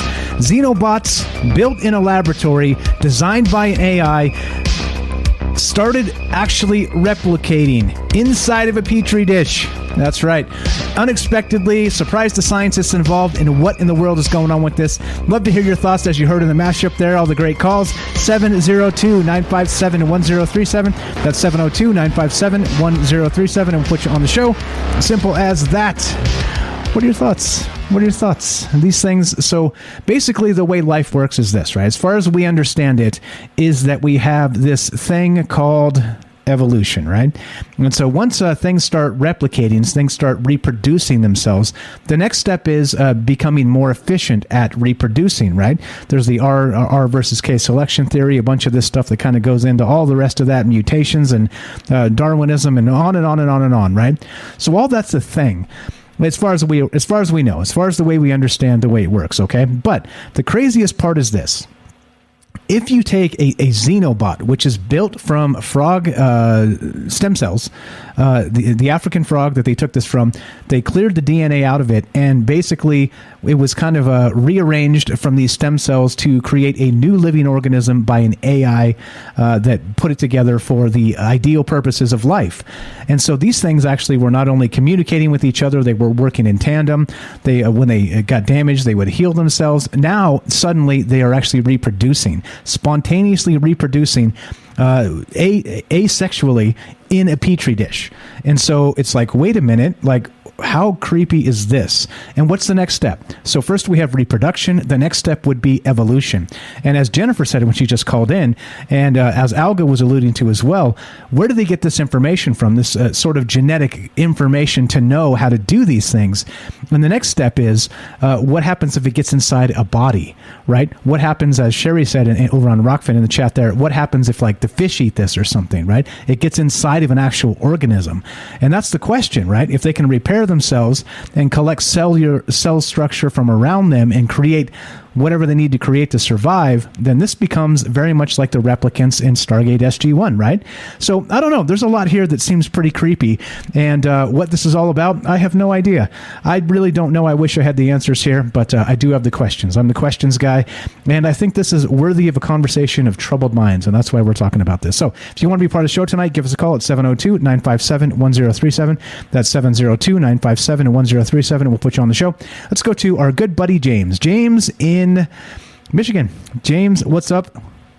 Salsido Paranormal. Welcome to the show, my friend. How are you tonight? I'm fine. Can you hear me? Loud and clear. Go right ahead. What do you think, man? What's what's the next step for these xenobots? You think they're going to grow arms and legs and be talking to us next year, wanting a handshake, a high five? I have no idea about next year or if it if it would take a lot longer. I would hope it would take a lot longer, but um, yeah, I don't know. But it is odd that they're not even. I like um, the last, you know, all the calls tonight. It made me think that they're not even exactly. They're not your stereotypical robot. I mean, they're made of part partly of organic material, and that's just really interesting. It's it's almost like you can't even really call it cybernetic because it's it's not like a mix of parts, or it's not like a mix of machine and biological. I guess, or maybe it is, but that's really interesting. Yeah, well, and I think so. So again, created, uh, designed in a machine by AI, and then using organic parts to recreate a new thing out of old um, stem cells from that African frog. So it is an all organic thing. However, this is like not something that's ever existed before on Earth, which is the bizarre part, right? It turns into this whole um, who knows what is next, and and so it seems it seems like again, am I am I barking up the wrong tree when I say that if we have uh, the situation where they, learn to replicate, do you think the next step will be evolution, or do you think I'm jump, jumping some steps here? I mean, if they've already been started doing things that they weren't supposed to do, that's kind of telling right there. You would think that why would they stop with that one thing that they weren't supposed to do if they're already surpassing what what the scientists expected them to do? Yeah, agreed, agreed. And so that that that becomes the next step. So let's throw out the evolution idea and just say, okay, but they weren't supposed to reproduce, and they started doing that. So what is the next behavior they will adapt that we didn't know they could do? And uh, like like Jennifer said, I think it's a little bit scary when you think in terms of maybe them getting inside a host body. Can they actually sort of uh, do this replication and even maybe a fast evolutionary process inside like a virus might? That's that's the crazy part, right? We, we we have heard of the lab leak hypothesis, haven't we? Yeah, yeah. It's um, and I mean that you see that in in fiction over and over too. So, um, yeah. I mean, who knows what it could do when, once once it encounters other um, other organic material. I mean, you would think it would just keep on going. Um, makes me wonder how much it would change once it does make contact with other organic material. Would it take on those properties as well, or just stick to what it already is? If it doesn't really, if it never existed the way it is, why wouldn't it keep changing? Yeah, well, it would have to, right? If, if it's an actual life form that somehow, I think that's the bizarre part too here. Like Algo was saying, how did it know? How did it know to do this? Like it should have been sort of a dead in the water situation where it was like kind of alive and uh, like like Jennifer said, kind of no brain. And so so how did it know to do these things? That's that's the nutty part. And then did it is it where's it getting it from? You know, back to that whole maybe the universe is conscious and it, it's it's in the air. Like life is all around us. We just uh, don't really recognize it yet. I don't know. I don't know. There's some bizarre stuff here. Um, any uh, any uh, I know you're a big comic fan. Any any uh, similarities you see? Uh, any comic threads you've read where this uh, this started out just in a petri dish and turned into some disasters down the road? Not offhand, although I think um, I see that the Nightstockers is in the in waiting there in the background. Um, I'm sure you can answer that better than I can. Um, but just going back to the whole consciousness thing, I that really is interesting. It, it makes me wonder. I mean, is it the the? It makes you wonder if that's the consciousness of the universe that's that's in these beings or or in these things, or if it's something else. And that's the that's the, in a way that's the scary part. Yeah, there's a lot more to it, exactly. But uh, but uh, let's see, let's see how this plays out because I I don't have the answers here. You know me, but uh, it does seem that this this is this is not a normal thing, right? This continues to go bam, bam, bam, and uh, punch us in the face with, with one new thing after another. So hopefully, like I said, they don't get dropped in a swamp and end up like the swamp thing six months later. That would be less good, double plus bad, I guess. yeah, I have to agree. Right on, right on. Uh, great stuff as always, James. Anything else for us, my man? No, I, I like I said, I've I, I know you got Derek there waiting, so I want to see what he has to say. Okay, we're going to go to a So- call first, then we'll go to Derek. Uh, let me know, Derek, if you're. Oh, sorry about that. Yeah. No, you're good. You're good. Uh, okay, so the thing is this, right? Uh, James has a podcast called Salsido Paranormal. Check it out. He does it five days a week, uh, 5 p.m. Uh, Pacific time, and uh, he streams paranormal stuff. Check it out. Link is in the description. Thank you, James. Appreciate the call very much. Thanks for the hot takes, and we'll catch you soon. Have a great night, bro. Thank you. You too. Thanks, man. All right, so uh, looking to looking to talk to you. We're talking about Xenobots. Uh, let me know, Derek, and we'll get back to you in just a sec. Uh, all right, uh, let's see. It's like we got Prince on the phone as well. Okay, this is the thing, right? So regarding this whole Xenobot situation. Do you think the next step is evolution? That's the question here. So it learned to replicate by itself. All right, it learned how to do this. Of course, we don't know. And now, now let's take this one step in the more nefarious. Right? Let's say the AI is tapped into something in the universe that is maybe injecting the knowledge into these things without our knowledge.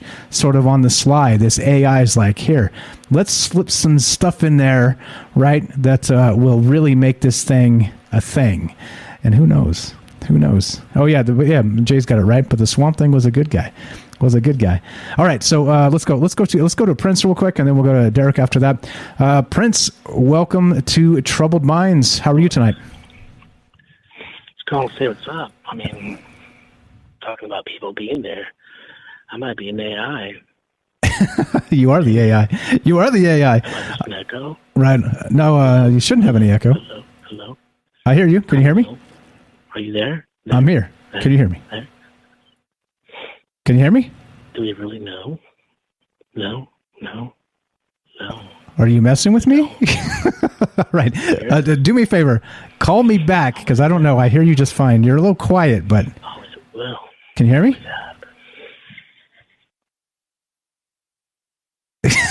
okay, there you go. Thanks for the call, Prince. Appreciate that very much. I don't know what just happened, but 702 957 1037. Love to hear your thoughts on this. Uh, I don't think there was an echo. Uh, Algo and Jennifer, and uh, they can all verify. Anyway, uh, let's go. Uh, looking to hear from you 702 957 1037. And let's go to Derek in Massachusetts. Thanks, Derek, for being patient. Uh, let's, there we go. Welcome to the show. What's up, my man? How are you doing tonight? The Nightstocker. Going on, brother? Great show tonight. Thank you very much. Just uh, doing weird stuff, you know, just a regular Monday night on Troubled Minds. Talking about, It's a casual Monday. yeah, existential crisis with the Xenobots. I don't know. What do you think, man? What's your take here? Uh, first, uh, Prince, call back, brother. Prince is a brother. He, he's not trying to mess with you or anything. Okay. Call back. It's probably just a bad connection or something. All right, cool. Um, yeah, uh, the Xenobot thing. We- Weird stuff. A lot of weird stuff tonight. A lot of maybe juice. Um, when you say the word Xenobot, the first thing I think of, obviously, or oh, obviously, just for me, is the Xenomorph from Alien, you know, which brings in the Black Goo mythology and everything. If you search just the word Xenomorph on Google, read you to like the Wikipedia page for Alien and stuff, and it's a quote saying like, "You still don't realize you're dealing with the perfect being." or whatever. And I'm like, oh wow, like what if this is how it starts? And like like you were saying earlier, it it goes around and tries to like gather DNA from all these beings. Like what happens if it get if it gets into a fish? What happens if it gets to, into like a chimp or something like that? What if it starts to collect, like go around the different biospheres and collect all the data from everything and then use that to evolve itself? And it even has the thing where it reproduces out of its mouth, just like the aliens from Alien, you know, xenomorphs. Like it's it's some trippy stuff. And and again, like what what what started it? What was that like? It's, it just started to self-replicate itself, you know. Um, can you hear me? Sorry. Yeah, yeah. No, the the phone just dropped. You're good. You're totally good. Oh, okay, okay, all right. Um, yeah, and the fact that like that's what that's what the aliens aliens do is just they pop out of they pop out of mouth. So I wonder if that we are dealing with some kind of like origin story for this like future dominant figure in the cosmos, or in the very least just the planet. You know, we always think that we're the star of the story, but perhaps we're not. And what and you mentioned it before, but um, they talk about the Greys, and uh, the Greys have this like frog-like quality, this these amphibious qualities, and they also say that Greys are time travelers, and we always think like, oh well, do we make some like weird silicon bodies, or did we like did we have an active role in this? Did are they us like an evolved version of us or something like that? But what if we just like accidentally created something in a lab like this, or just created the foundation for something to like spontaneously happen, like this seems to have happened, and then in a millenn- or in, in a couple million years, they become some this like weird android dominant species, like one of the dominant species in the galaxy, you know, and that's what we're dealing with is this thing we created later, you know.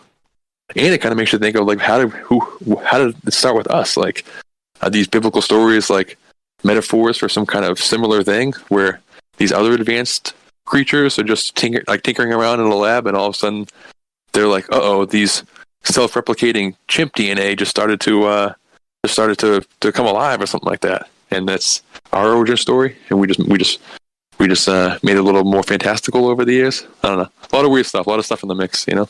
Yeah. What do you think? Yeah, just like you said. So, so oddly enough, I was thinking about that too. Uh, the octopus show we did the other night on Thursday, uh, we were talking about the Cambrian explosion, and I was actually incorrect. I kept saying 200 million years ago. It's 500 million years ago, and they can't explain scientifically why just all the life just went boom. It went from almost nothing to like just an incredibly diverse ecosystem. And we were talking about panspermia and the rest of that. But imagine if it was this instead, just like you described. It was a petri dish situation, and this is the primordial soup they keep citing. It's just a petri dish situation made by who knows who. And I think that's the question, Exactly. right? You start you start to go, mm, well. I mean, you just saying that.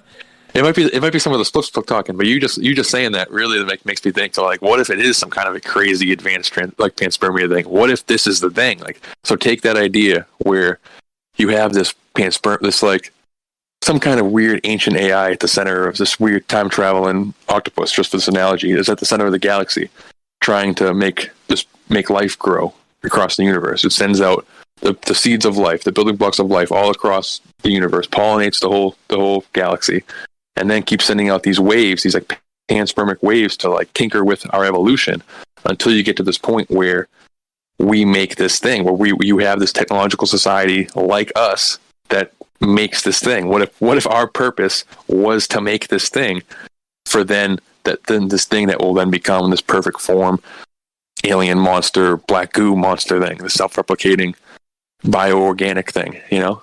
Um it's creepy creepy stuff.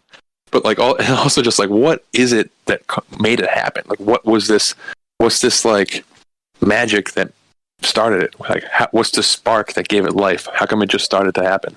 You know, and is is it going to be a one off? Or are we going to start seeing weird things start to like become sentient in labs all of a sudden now all over the world? Like, is it time? Is is the ether just ready for a new form of life to start popping up? Like, that's the type of type of stuff that freaks me out. Combined with all the Sophia trying to have a baby type thing, like. Are we just is the is the environment right for like we mentioned it a bunch of times, but I quote that that like Buddhist Lama that says like when the vessel is ready, something will incarnate it, the soul will incarnate it. What if, what if this was a version of this where the environment is ready for something new, some new spark, some new magic lightning, whatever it is, to to start this new form of life? It's really pretty creepy. And then also just like the regular like android stuff, just the regular more down to earth, less maybe juice type of cyborg future and stuff. These, what if we just use these to create new bodies, some kind, some type of like, some type of body like factory where we can just create these like perfect forms, and then like like uh, Joe was saying in the beginning, do some kind of transcendent style thing where we put our consciousness into that into that body. Like what what rights does it have? Is, are we going to have some kind of like war between cyborgs and androids and, and mutant humans and like genetically modified advanced super soldiers and like the future is going to be weird as hell. You know, that's all. That's all I know for sure. And it's already happening. Like this is weird too. So, so what do you, what do you think regarding not just this? Like I'm, I'm gonna I'm gonna hold up the sign for you for you, Derek, and say robot rights now. But but but what's what do you think about this? So is is that next step odd? So you're bringing up what algorithm talk uh, algorithm Mike in uh, Colorado uh, talked about. Where did it get the instructions to do this? Is it in the ether, sort of? Is that universe uh, being as a part of a conscious thing? We, may, maybe the universe itself is the petri dish, right? And we just don't even understand how all that stuff kind of floats together to make us and make this and make everything. So anything organic possibly can become an advanced form of life, right? Even as uh, Jennifer described, maybe in terms of a virus, right? Things like this. I don't know. Do you think that's the next step here? This thing, instead of just replicating, it'll start evolving? I mean, yeah, for sure, for sure. I think that's probably the goal of so- something out there, whether it's an entity trying to grow its own body or just some mad scientist trying to do that. I think like whoever's seeing this in a lab is like, oh yeah, let's make this happen more and faster and let's get it going. Like they're not going to burn it like they should, you know. Um, but like as far as like the rights question, like do these things have rights? It's it's tough. Like I don't know. I, I'm not going to be the one to say that they don't. Like wh- who's who who are we to say that like if we're like the biblical stories and, and we were made out of mud or whatever like we're like we're we're jehovah's golem. And like this is some magical spark that gave us a soul. Who's to say when these things get to a certain evolutionary point and they say no no no we had that spark too. Something something else happened. Like you guys built us but some spark happened and we have a souls too. Like who are we to say that they don't? And then especially if you get into the idea of like just simply just transferring our soul, our consciousness into one of these bodies. Like, what if they don't create their own sentience? What if they stay like some type of just like I don't know, more of like a self-replicating bio biological machine type thing, and we can kind of more use them as like husks or sleeves, like in that, like that uh, Netflix show I'm blanking on the title of, um, Altered Carbon. Uh, I don't know. The p- possibilities are, are kind of endless. Pretty wild, and, and they say that they can actually, uh, very much like the replicants. I know you haven't seen Stargate SG One, but there are this Uh-huh. alien entity that does something similar, and it's able to to grab uh, materials around it and recreate themselves and pass on whatever that hive consciousness is to the next one. So who knows, man? Like there's a, there's a lot of wild stuff going on with this, right? But uh, yeah, fantastic stuff. As you know, we're about out of time here. Anything else while we got John? Yep, yep. No, no, that's it. Uh, great stuff, great stuff, and uh, it's about to get wild in the third hour for sure. Right on. Appreciate it very much. Uh, Derek in Massachusetts. Later, brother. Thank you. Uh, check out his YouTube channel. He's got a trailer, uh, link in the description. All the friends of Troubled Minds, scroll down and you can find all their uh, links down below. All right. So th- as we finish this up tonight, I don't know. Uh, hang tight, Prince. We'll get right to you in just a sec, okay? Uh, I'll give you the top of the third hour. We'll skip the break and everything just to get you back on. Uh, appreciate you being patient. Uh, so here's the thing, right? As this ends, I, I don't know what to think because, th- again, life is spontaneously finding a way, right? I mean, that doesn't sound, you know, very Jurassic Park like, does it? I mean, no, it totally sounds very Jurassic Park like, right? So, what does this mean for the, the future? Uh, like Derek was just describing, is this going to be sort of a peach, petri dish situation where things like this begin happening? Because you know for a fact they're not going to stop here. This isn't the first try. This is not going to be the last try. And so as this continues, this is a Xenobot 3.0, all right? Version 3, replicating, reproducing. What does a Xenobot 25 look like? You tell me. You tell me. I have no idea. I'm the ans- I'm not the answers guy. I'm the questions guy, and that's what's going on here. So, all right, if, um, we're uh, we're done. So, as we finish, you guys know the drill. Uh, we are done tonight on Fringe. However, so the bad news is we're done. The good news is, God willing, we have tomorrow, and uh, that's the deal. So, if you're listening to us on the Fringe FM, stay tuned for Joe Roop lighting the void. If you're listening to us on any other platform, including the podcast feed, we will continue for a third hour of Troubled Minds talking about Xenobots, talking about evolution, talking about petri dishes, and is the universe conscious? This is about to get off the rails, and well, that's what we do. You guys want to be part of the show? We're still taking your phone calls, and you know where to do that. But as we finish, be sure, be strong, be true. Thank you for listening. From our troubled minds to yours, have a great night.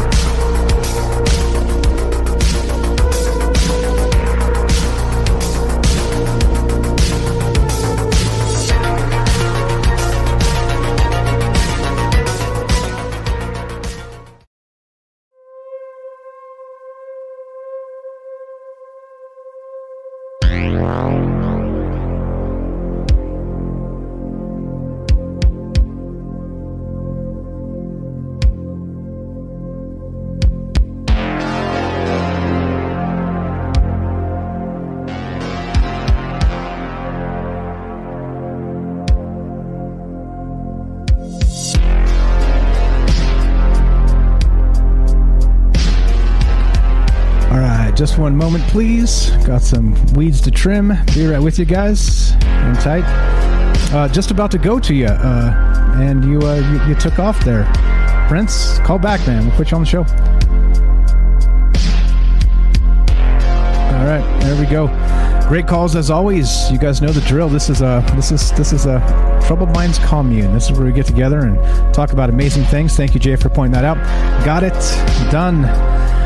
Weeds are trimmed. What's going on? How's everybody doing tonight? What is going on with this? What about evolution? What about the primordial soup? Is this the primordial soup? You tell me. Love to hear your thoughts. 702 957 1037. That's 702 957 1037. What we're going to do is take a quick two minute break, and we will be right back with more Troubled Minds and your calls. If uh, Jennifer, if you, uh, you got cut short, feel free to call back now, and anybody else as well. 702 957 1037. Be right back. More Troubled Minds coming up.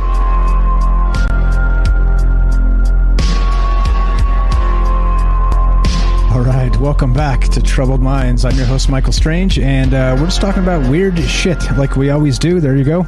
It's, uh, it's, uh, we're off the radio, so dropping an F bomb here or there. Nobody gets hurt, uh, no harm, no foul, except for the sensibilities of the kinder, gentler people than us, or me anyway. I'll speak for myself. And uh, still talking about these Xenobots. What do you think? And uh, pouring some maybe juice as we go. But th- this is the thing, right? So uh, I think evolution is the next step, and uh, as Jennifer's been saying in the chat there as well, uh, that these these actual entities, whatever they are, right? Um, they if if they're treated like viruses, or if they can uh, maybe quickly on the fly sort of turn into these these virus type things. Uh, what happens once they get inside of a host? Like somebody said, actually, in the uh, uh, Sherry said that over on Rokfin as well. So so I don't know. Again, there's there's a lot here, a lot of implications. That again, you know, like how could this go wrong? And you know, they're talking about using them. So so the practical application is, and this is what I keep hearing. You know, oh, we could use them to clean up toxic spills, right? We could use them to maybe um, clean up the ocean, things like this. But seriously, you want you want to pour like an alien substance, like an alien life form into the ocean that it proved it can rep- self replicate? Like call, call, me call me a conspiracy theorist. Call me a dirty conspiracy theorist, right? But does that seem okay to anybody?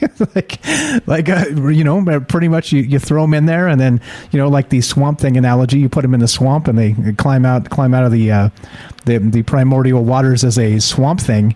What happens if you throw in the ocean? Do we get Moby Dick? Like, what does this thing turn into? And that that's the crazy part, right? So there's a lot here we can talk about again. Now, what about the AI implications of this? Is it possible that maybe the AI uh, pulled a dirty and on the sly, you know, kind of per, uh, set this thing up to do exactly this? And maybe uh, that's the whole point, right? Is what if it has uh, additional instructions which are unclear as of yet, because they or they won't be actually um, engaged until uh, the the living conditions are right.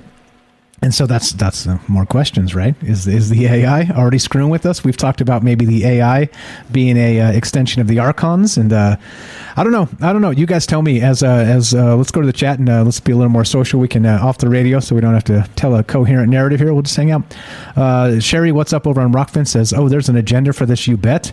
Joe says they will evolve into human-sized Pepe the Frogs and be our politicians. There you go.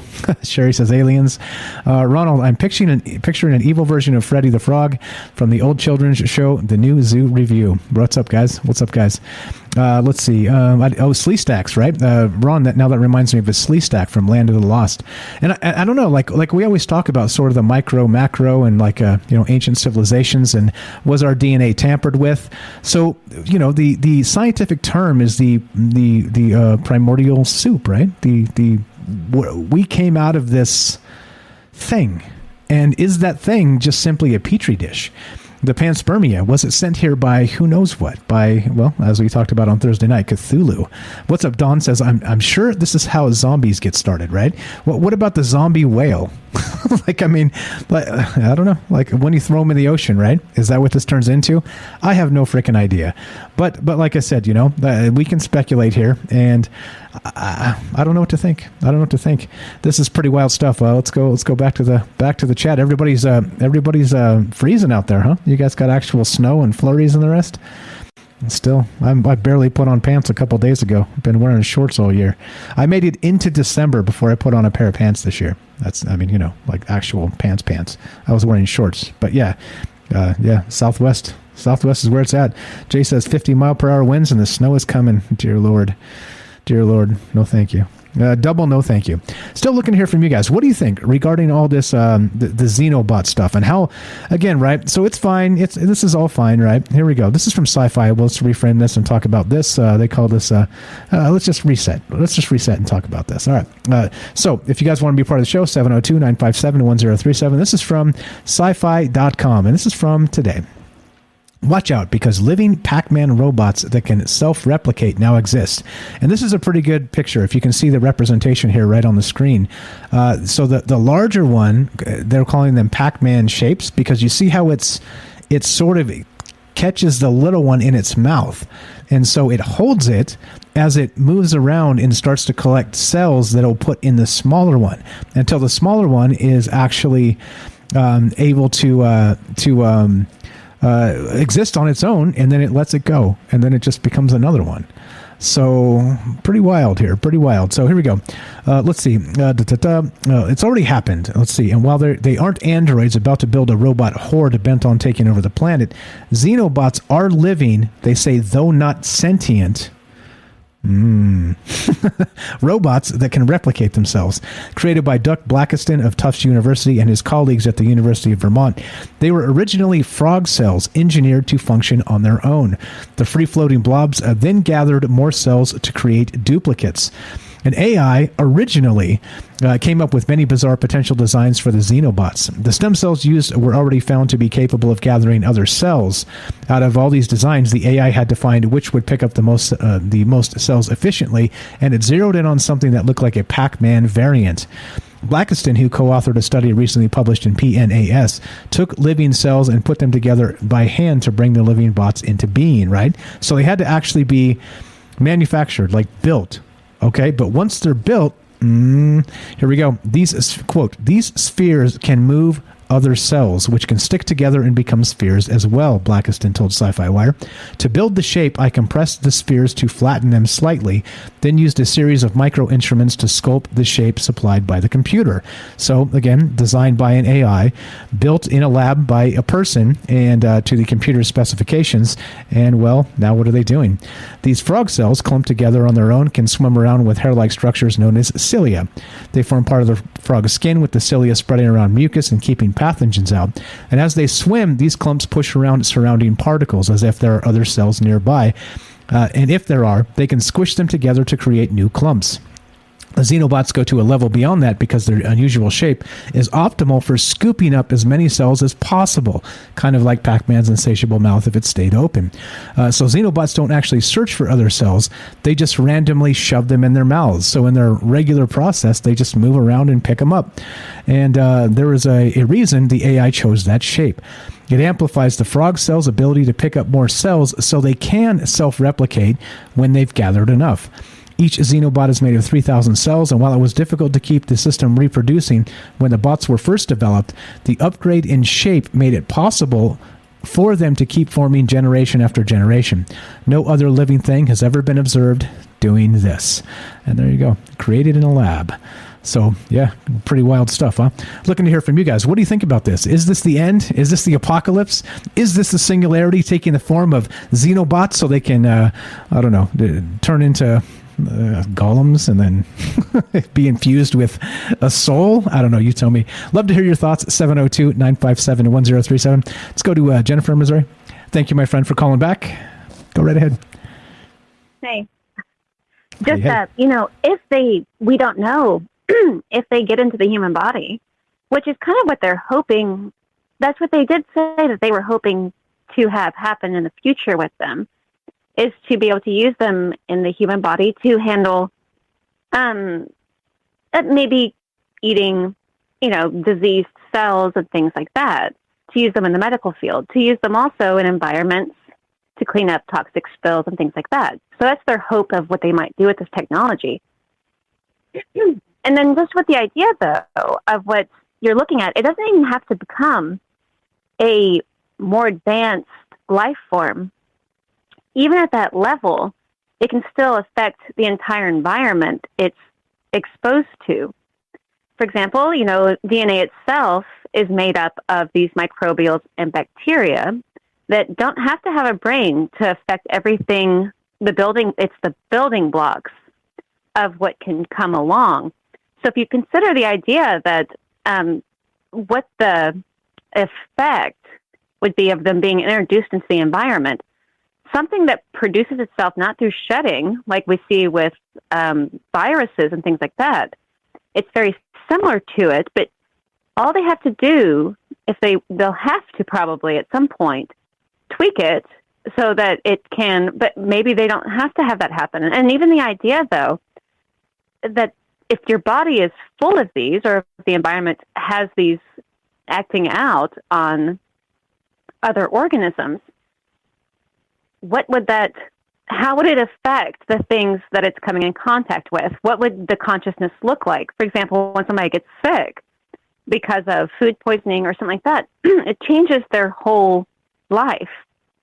So even something very small and without a brain at all um, changes this entire environment. And like I was kind of trying to say a little bit in the chat, the the world right now has been completely changed due to such a small thing without a mind at all. And should this um, act similarly, even in the slightest way, it could change so many things. And, and not only that, though, but if they should advance it any further, would our own bacteria, our own microbials, I think the human body has been estimated um, on different accounts that the the the body, the skin itself, and everything, the amount of bacteria and microbials involved in that, and even the DNA itself that is built with it, that's the effect you're looking at. But should these viruses, our own viruses and, and microbials, and the effects they have on our, our on our existence, if they should if they should take over these new organisms, these xenobots, if they do become more advanced, what would it do to them?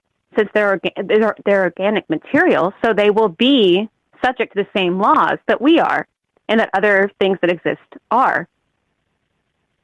So it really does make you wonder if the, how they will be affected by that. Will our own bacteria try to wipe them out or eliminate them? Will there be, you know, I don't know what would the results be. But then in the body itself, which I'm sure that they're going to begin by putting them into animals. And that's really creepy about what Algo was talking about, the, the thing. Um, in that movie, you know, there's the use of a dog. I don't know if anybody's seen it. I've seen parts of it. I actually haven't watched it. But it, if you think about the different um, parts of that film, it's talking about, and, and many of these types of sci fi films, sorry, involving these types of alien um, emporiums, what happens is that they put them into animals and things like that, and then it gets out of hand. you know, in all those horror films and everything, it gets out of hand once it's introduced to a host.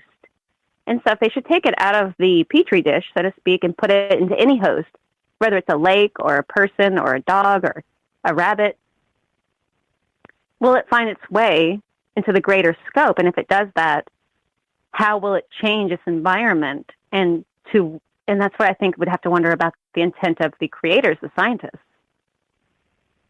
Yeah, hundred percent. The weird part too is uh, so what you're describing is basically uh, an invasive species except like you like you said we don't even know how the rest of our world's going to react to it. Maybe this is like a super booster of everything else including uh, whatever viruses are out there. You never know. Like this might turn into a virus war where this thing is fighting fighting you know against whatever else is out there. But who knows? Maybe they become symbiotes and they they help each other. And it, it's going to just supercharge. I think that's the craziest part here is we, we don't we don't know and uh, just like you said, very very good point. If it if it gets into you like E. coli or something, it'll make you sick. The entire body becomes ill as a result of these things that you can't even see. And so, if you do that, like you said, the lake or the ocean or whatever else, people have said, uh, Robert in the chat, what's up, Robert, over on Rokfin, just said, if they put it in the ocean, the fish are going to eat things that it becomes, and then we're going to eat the fish. And then there's no way around this. Once this is out, this is out, right? I mean, it's very much like the uh, lab leak hypothesis, right? Uh, once it got out, it's out and you can't put the genie back in the bottle and that's i think that's the bizarre thing about this is that they really want to p- dump this into nature and and think that it's going to do exactly like they expect it to do. That makes no sense, does it? No, and when you think about the all of the mythos, you want to tie that into it. These types of existing eh, these these organisms, the way that they they don't have to necessarily have we would like to think that they have a consciousness because it seems that they do. They swarm, um, they replicate, they shed. But the effects on their host, that is what you'll see. It's the effect of them. So when you go into talks about ancient demonology and things like that, it's the effect. And people used to believe that um, you know, demons would cause sickness and things like that. So you think about the consciousness and, and parasites. If a if a host is consumed with parasites, they begin to display certain characteristics. You see that with the prions, where the host will start to interact with this environment in order to help the parasite, not to help the host, but to prolong and carry out the parasite. The same thing happens with viruses. It's been proven even that there's something about the cold virus and the coronaviruses themselves, not not this one that we're dealing with that people are talking about, but the typical coronavirus um, spectrum. They will try to get the host to cough or to sneeze. They they suspect this in the direction of other hosts in order to spread themselves. So they are displaying characteristics the same way that there's a a beetle that lives on the top of a flower that's consumed by a fungus, they will reanimate that beetle in order to spread itself to an, um, a mating host. So even if uh, there's things like that going on in the fungi world, the micro the microorganic world sh- shapes everything. The bees, for example, being wiped out by fungus and certain microbials break the entire food chain of this environment. So when you think about that, Oh. uh, sorry about that. Hang tight. I'm going to call this right back and put you back on the line. Perfect timing. Microbials, when you think about that, we're going to go back to Jennifer in just a sec here. Sorry about that. Host room and can manage your All right. callers from the call-in studio web interface. Let's do it. There you go. Audio recording is on. Dual channel. Sorry about that, Jennifer. You should still be on. You said microbials, and when you think of that, it cut you off. Deadline. Are you there? Oh no. All right. Now she, now she hung up. Yeah. All right. So so good stuff. Good stuff there. Uh, sorry about that. We've had uh, that was terrible luck two times in a row with uh, Jennifer's calls. Uh, she's calling back. Actually, we'll get to her in just a sec. All right. So the, the thing is this, right? We're talking about this. We're talking about these uh, these actual um, uh, whatever they are. These these xenobots and. And what's happening is is this is this the ultimate invasive species? And you know, we talked about the lab leak hypothesis in the past. We talked about the lab leak hypothesis in January of 2020. Right? We were talking about it then. And guess what? Nobody was allowed to talk about it then.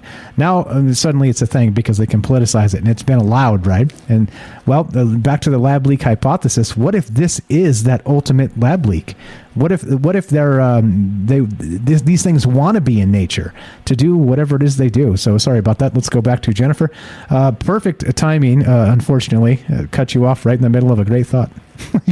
yeah, I'm so sorry. I you actually called, I think, and I hung up. I don't know why I did it, but anyway, all good, all good. that's all. I just wanted, I just didn't want to be rude and like leave it hanging that way.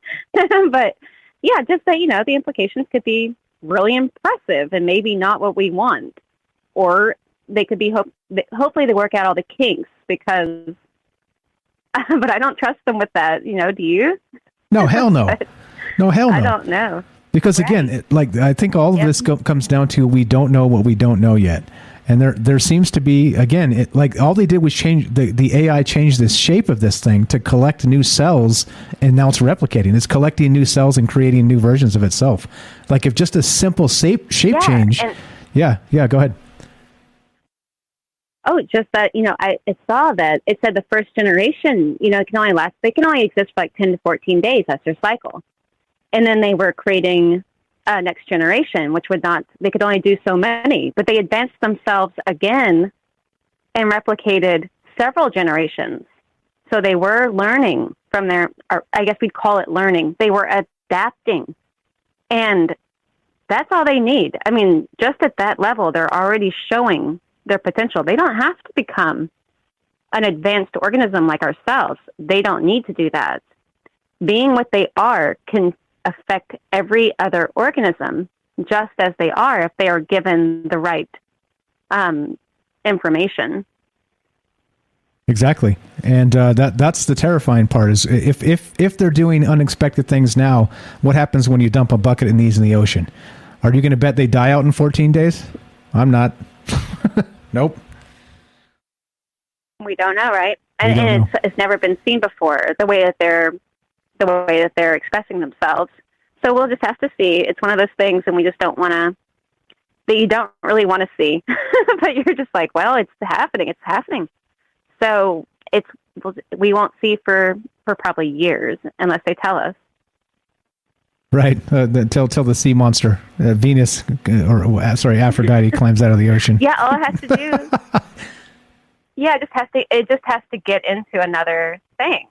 Like it, it doesn't have to advance itself all the way up to being um, a proverbial monster. It can get into another organism and turn it into one, or it can change the water itself. It's the building blocks of things. That's what I think is really creepy. Exactly. You know? Yeah. But uh, I'm gonna get off here. Fantastic. I just wanted to call because I was like, well, that was weird to leave it like whenever it hung up. Appreciate the that. door dropped or whatever. Thank you so much for So, calling back. You're the appreciate it. best. Thank you. Talk to you later. Have a great night. That's uh, Jennifer Missouri. Good stuff as always. Uh, please uh, give her a follow. You guys know uh, link in the description. She's got a YouTube channel and uh, always saying brilliant stuff. Always blowing up our brains.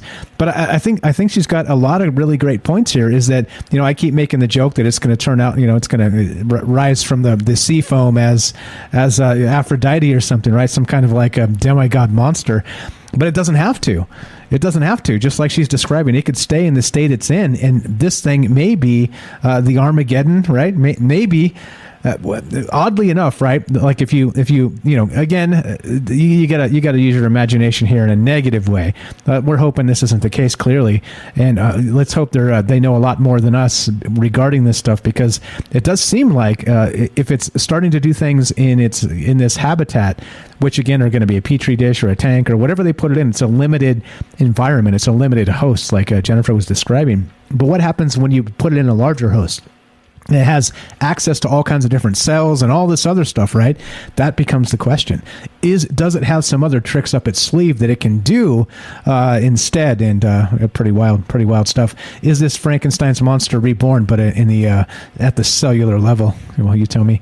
You tell me. Just uh, kicking it hanging out uh, talking with friends of ours about uh, these xenobots that are just started actually replicating. They started becoming um, well parents parents of the little the little guys the little just making little oh gucci goo look at that. And if you look at the photograph here on this um, this article from syfy.com it's got the uh, the little pack again the pac-man shape and this is the larger version and it, it floats around randomly picking up cells and then those cells become this smaller part and then it creates another thing of itself and so well uh, there you go there you go if, if that's as simple as evolution needs to be to replicate then uh, well shit well shit uh, I don't even know. I don't even know.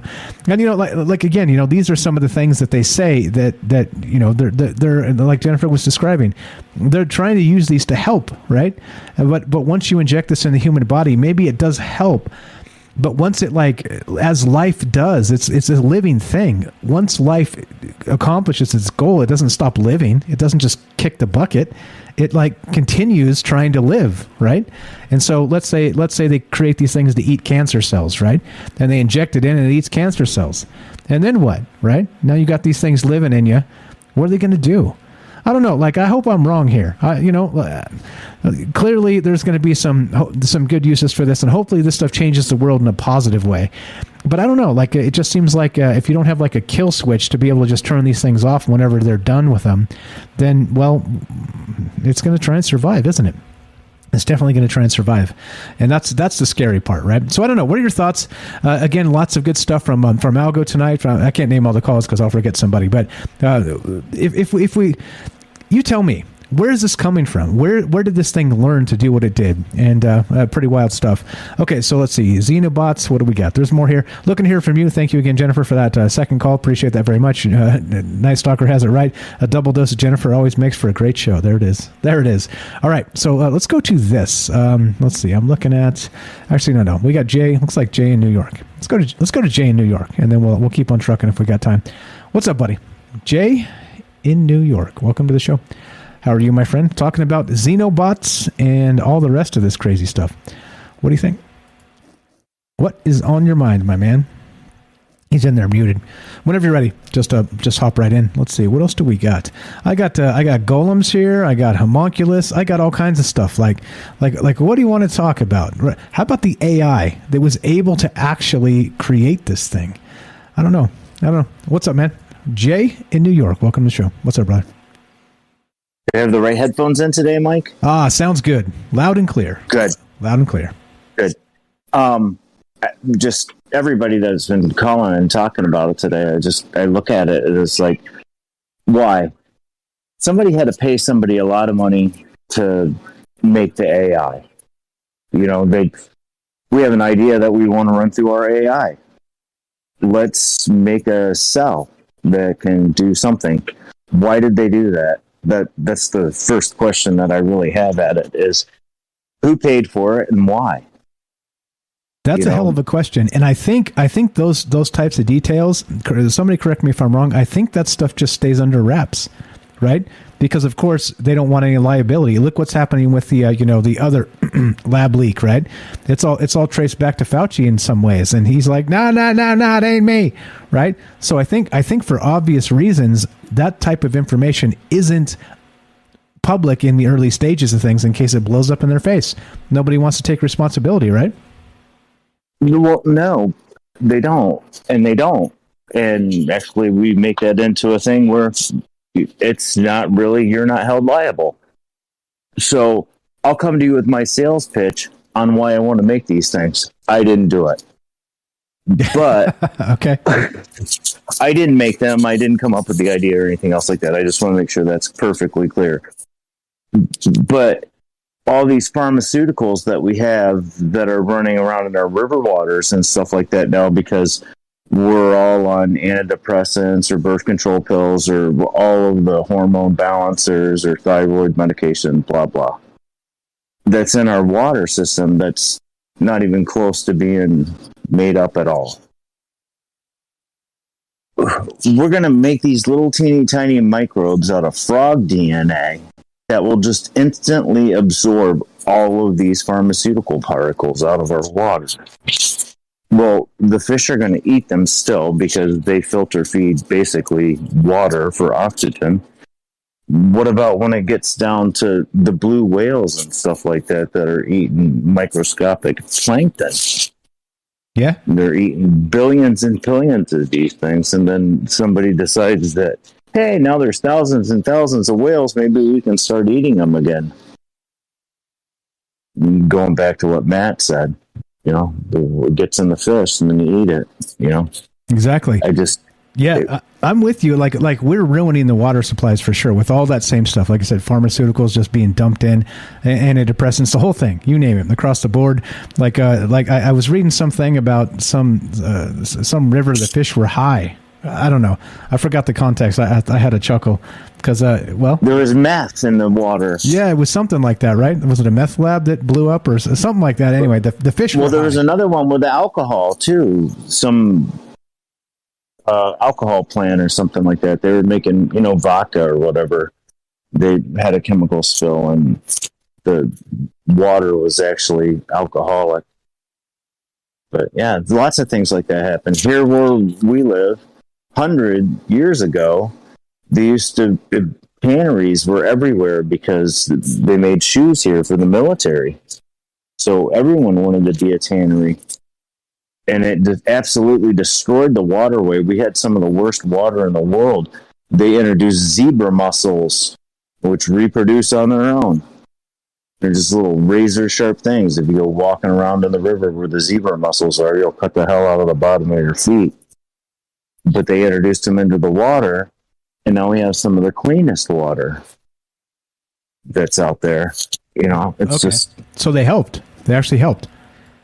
they did, you know. But then again, unless you're walking around out there looking for crawdads and playing with the frogs and stuff like that as a little kid down on the river, I mean, I don't let the kids go in the river because they'll tear up their feet and their hands, you know, playing around the thing because the zebra mussels are everywhere. Exactly. Yeah. Yeah. You can't get rid of them once you bring them in. No, and that, that that's the thing, right? So so it had a positive effect other than scraping your feet. Make sure you wear like a you know diver's shoes or whatever.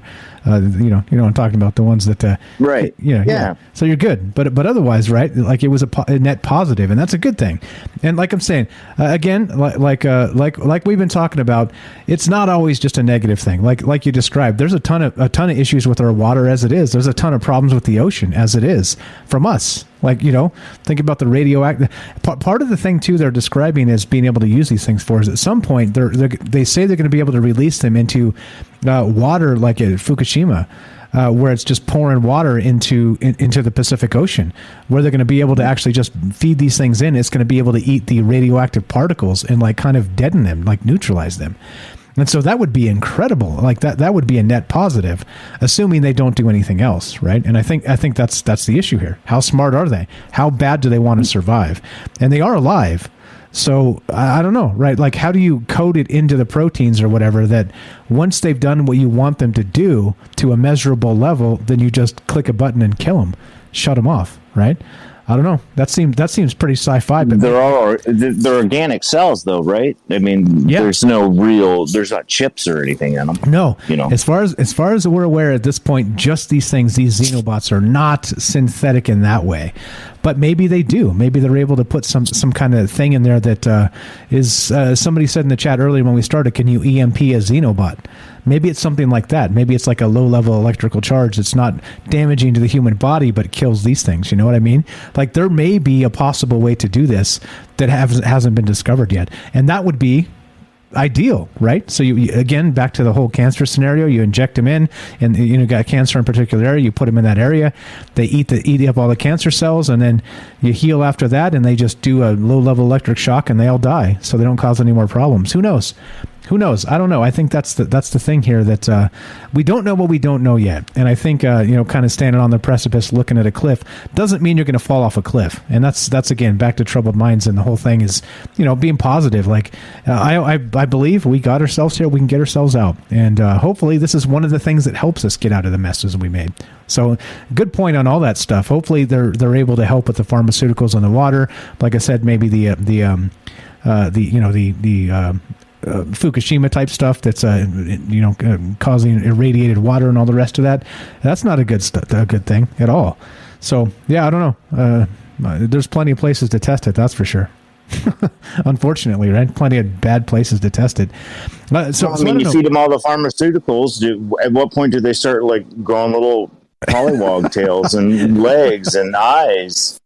Right. know? I was going to make a bad joke, but I, I'll, I'll save that bad joke for another time. but, but when you feed when you feed them all the pharmaceuticals, right? Uh, who knows? How does it affect them? It's it, it's all chemicals too. Uh, that's the thing, right? So, and they're they're at a you know cellular level. How do these actual chemicals uh, affect them or not? I don't know. That's a good question, man. And you would expect or hope that all that gets run through like the scientific rigor. But then again, what happens when one of these things gets flushed down a toilet or something, right? Like before it's ready. Yeah. You know what I mean? Like, oh shit. Someone gets a petri dish all on their sleeve, and then they're like, "Ah, damn that!" Yeah. Wipe it off with their hand, wipe their nose, go home. Go go wash their hands in the out with- sink and yeah, like yeah. Yeah. Yeah. Yep. Yep. Yeah. You never know. And I think that's the weird part here is that uh, uh, the, we, we were doing the lab leak hypothesis before it even had a name. And so, in this sense, who knows? Who knows? Uh, what about uh, regarding evolution of these things? Do you think that's the next logical step? That for it to evolve into uh, maybe not something else like I keep making the jokes of uh, the, the swamp thing or you know Aphrodite from the from the sea foam, but but what about maybe like Jennifer was describing, maybe like in a virus type of sense? Does it start actually doing that? What do you think? Well, I mean, what what if it starts taking out the good stuff? And you know, if it gets into the water? I mean, obviously, it's not going to get into the air. You know, it's it's an airborne thing. But if it gets into the water or on the ground, you know, what is it going to do? It'll you know start taking over cells from trees, or just even if it's the nutrients from it. You know, we decide that we want to release it over at Fukushima Daiichi. You know, yeah, that sounds like a great idea. They're going to eat all of these radioactive cells, but you know, say they do it in uh, ten years, hundred years.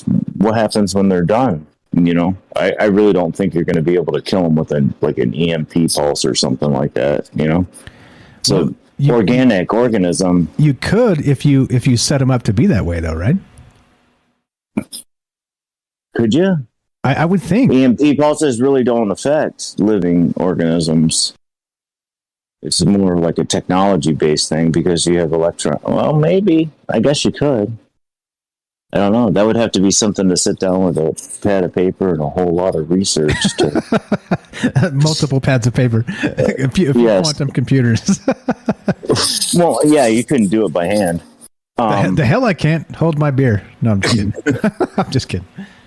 I'll try, but um, really, I, I, I don't know. I mean, really, I think that that you'd to in order to give that something something like that an EM pulse or a kill switch that could kill something on a large level like that, it would be damaging to the other living things around it because they're cells. They're you Yeah, know exactly. they just took the they they just took the stuff out of the frog that they wanted it's the cell, you know, by it evolving over 14 days, a lifespan of 14 days. I mean, you're looking at fruit flies. I mean, I don't know if any of you guys did that when you were in biology, when you were in, you know, high school. You did experiments with fruit flies to check DNA, which ones came out with red eyes, which one came out with black eyes, you know, bodies, wings, stuff like that. You know, because they reproduced really fast. It was a great thing to study fruit flies. I'm sure frog cells are probably an awesome thing to study too, because they reproduce really fast too. You know, that's probably why you dissect frogs when you're a kid. Yeah, You know, yeah, but- yeah. I'm with you. Like there, there's there's a lot here. Uh, here's another weird thing too. I found this. I was looking for, um, you know, synthetic life, artificial life, things like this. And there's this uh, an embryo term, an embryonic term actually called homunculus, right? Which of course is like a, a, a an entity, like sort of a the shell without the soul, right? Like the the skin, as uh, Derek was saying there. And so, so the weird part is that uh, the the the term homunculus is Latin for little man. It's used in neurology today to describe the map in the brain of sensory neurons on each part of the body, right? Which is all good and well. But if you go back, check this out. The the origin of the homunculus concept is uh, of a pre-existing fetus is usually credited to Dutch telescopist and microscopist Nicholas Hartsoeker. Uh, he receives this credit largely because it was in a sketch in 1694. Blah blah blah. Anyway, the homunculus was the fully formed individual that existed within the germ cell of one of its parents prior to, prior to fertilization, and would grow in size during gestation until ready to be born. Meaning that uh, any any part of the the situation with um, you know whether it's the, the the egg or the sperm that, that there was already an individual there right? The homunculus it's it's there it's a thing it just needs to be be given the spark to to become the thing it's going to become right? Pretty pretty wild stuff. I was looking at some of these terms I was like oh shit. Like and not only that science has adopted some of these terms to pre- pretty weird pretty weird man. Um, well, I mean, that's the crazy part about you know we go back to time to time is like they've got to tell you about the crazy crap they're doing. Let it be known. Ah, the You old uh, Illuminati thing, right? The old uh, they can't they can't do it unless they tell us they're doing it. That? Kinda, yeah, exactly. Actually, it, it just you know.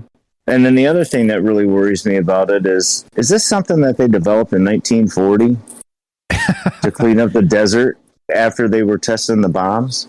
You know, Uh, we're just hearing about it now. Yeah, that's interesting too, uh, and that, I think that's part of the problem with some of this science stuff is is you can never really know exactly again because of military purposes, DARPA, and all the rest of this. Like, who knows, man? Who knows? It's a hell of a question regarding uh, when when this stuff actually originated. Uh, you got to you got to expect if it's hitting the news, um, it's not brand new, right? I don't know. I don't know, man. That's a good question. Well, science news never hits the n- news. You know, well, the, the joke about your news show. I mean, well, I'm digging it out. They just the keep time. telling us, you know, they throw a little blip in there, just a Friday afternoon, you know, six thirty.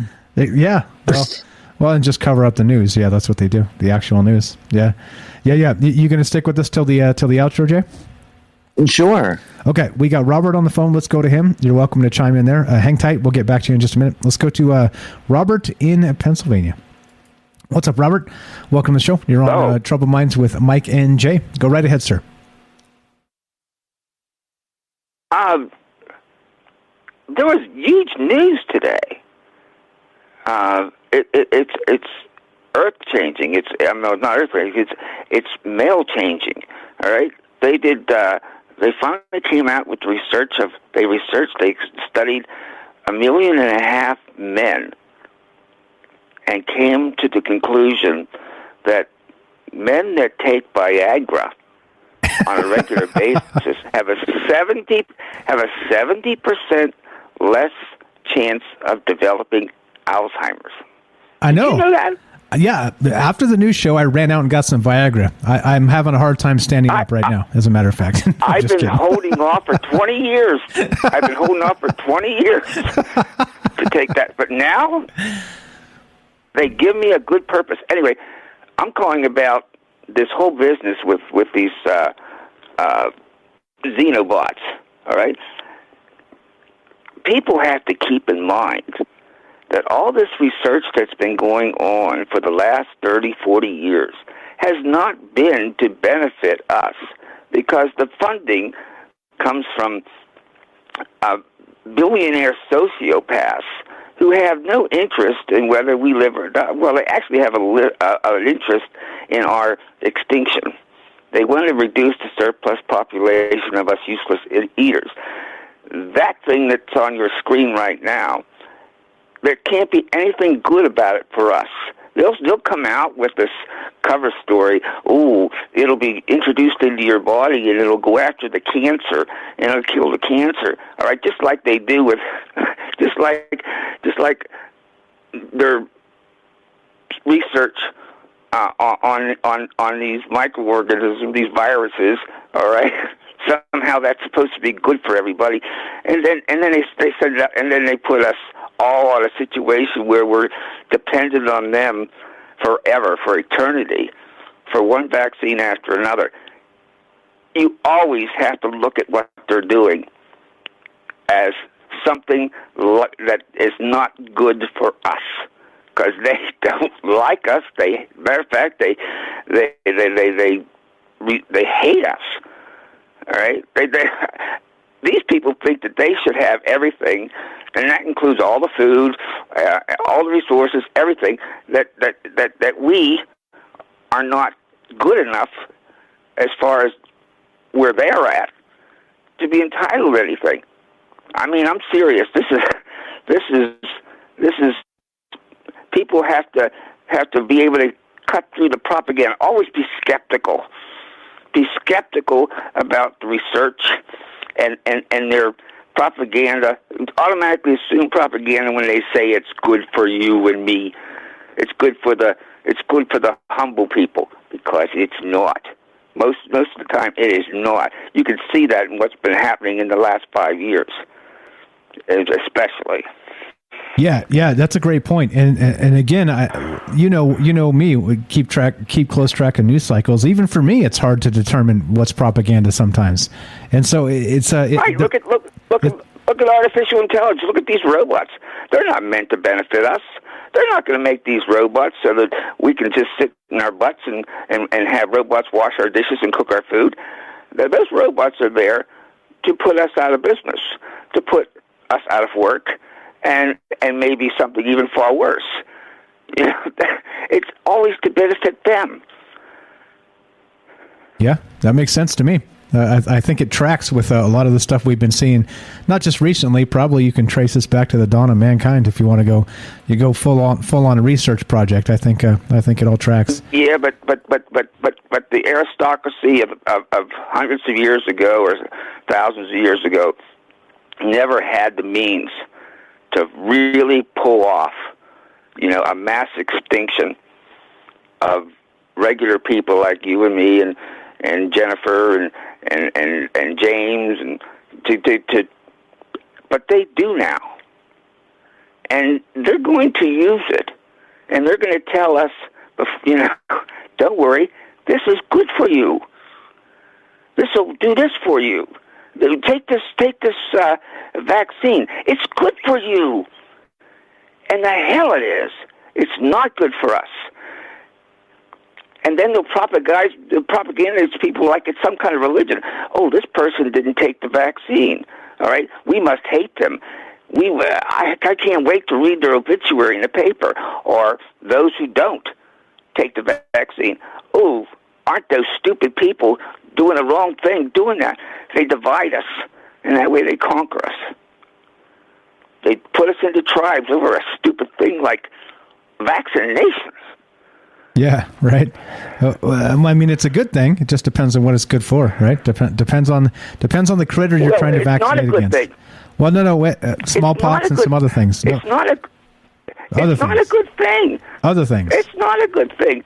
I mean, if it would have started out where there was a complete cure, and you did, it didn't fall away in six months, if it was a normal, if it was a normal vaccine, and it's not a vaccine, it's it's it's a it's a genetic alteration of a of a critter, some sort of some sort of virus. All right. Uh, I mean, because when we take vaccines, we're supposed to be they're supposed to be dead. They're supposed to be the the, the dead virus is supposed to be in the vaccine that creates uh, uh, uh, that shocks our immune system into creating antibodies. But this is not even that. All right. Uh, this is Doctor Strangelove territory into, in- into the tenth, you know, into the into the stratosphere, and and and they must be laughing so hard at us for for for so many people. I mean, around the world, millions who fell for this. All right, and now they're starting to wake up. Even the guy that does the uh, the Comedy Central, uh, what's his name? Uh, Trevor Noah. He's fi- who's I been saw that. Yeah, who's been pushing this and pushing this. You know, like everybody else is dumb for not getting it. Even he's woken up to it now. That they're picking on his own South Africa. All right, and saying those people can't come to the United States, even though the, the you know the the variant hasn't hurt anybody nor hospitalized anybody. you know? Exactly. Nobody's nobody's. All right, I'm saying they want this. They want they want to they want to they strip us of everything we own, and they want and then eventually they want to eliminate as much of us as possible. I mean that might sound like something. Uh, I might sound like a raving man maniac when I say this, but I promise you it's the truth. None of what they fund is ever ever for our benefit. It's only for theirs, and and if it's for theirs, usually it's it's not for it, it can't be for good for us. All right, uh, you're getting close to closing time, so I'll get off the phone. But I just wanted to rant and rave on this because too many people are so gullible, and and and, and they buy it and and they and they break it down into well, if you're not a Dem- if you're a Democrat, you must believe in this. If you're a Republican, you must not believe in this. All right, and and if you, you go either way, you must be a communist. You must be a Or worse. Yeah. or worse than a com- crazy. you dirty commie. Robert, you dirty commie. By the way, Robert's got a book called Stories from a Fractured Mind. I have it up on the stream. Check it out. Link in the description below. Robert, I know you don't call for that. Uh, I appreciate you, uh, as everybody else, That's calling and being part of this. That's a great picture, That's right? the best picture I've seen. Yeah. All right. Well, you're you're you're uh, check it out. It's a great book Look as well. look, look at that look at that look at that troubled mind face on the cover of that thing. And there you go. There you go. You're the best, Robert. Thanks for the call. Uh, have a fantastic night. Thanks for listening. We'll catch you soon. You too. Thanks, bro. Thanks, bro. There you go. There you go. Simple as that. Uh, Robert's book right there. He sent me a copy. I'm reading it. It's fantastic. A lot of really great stories in there. So just check it out. And uh, yeah, uh, anything on that, Jay? Uh, let's go. Let's go back to Jay. Thanks for hanging out and being patient with us.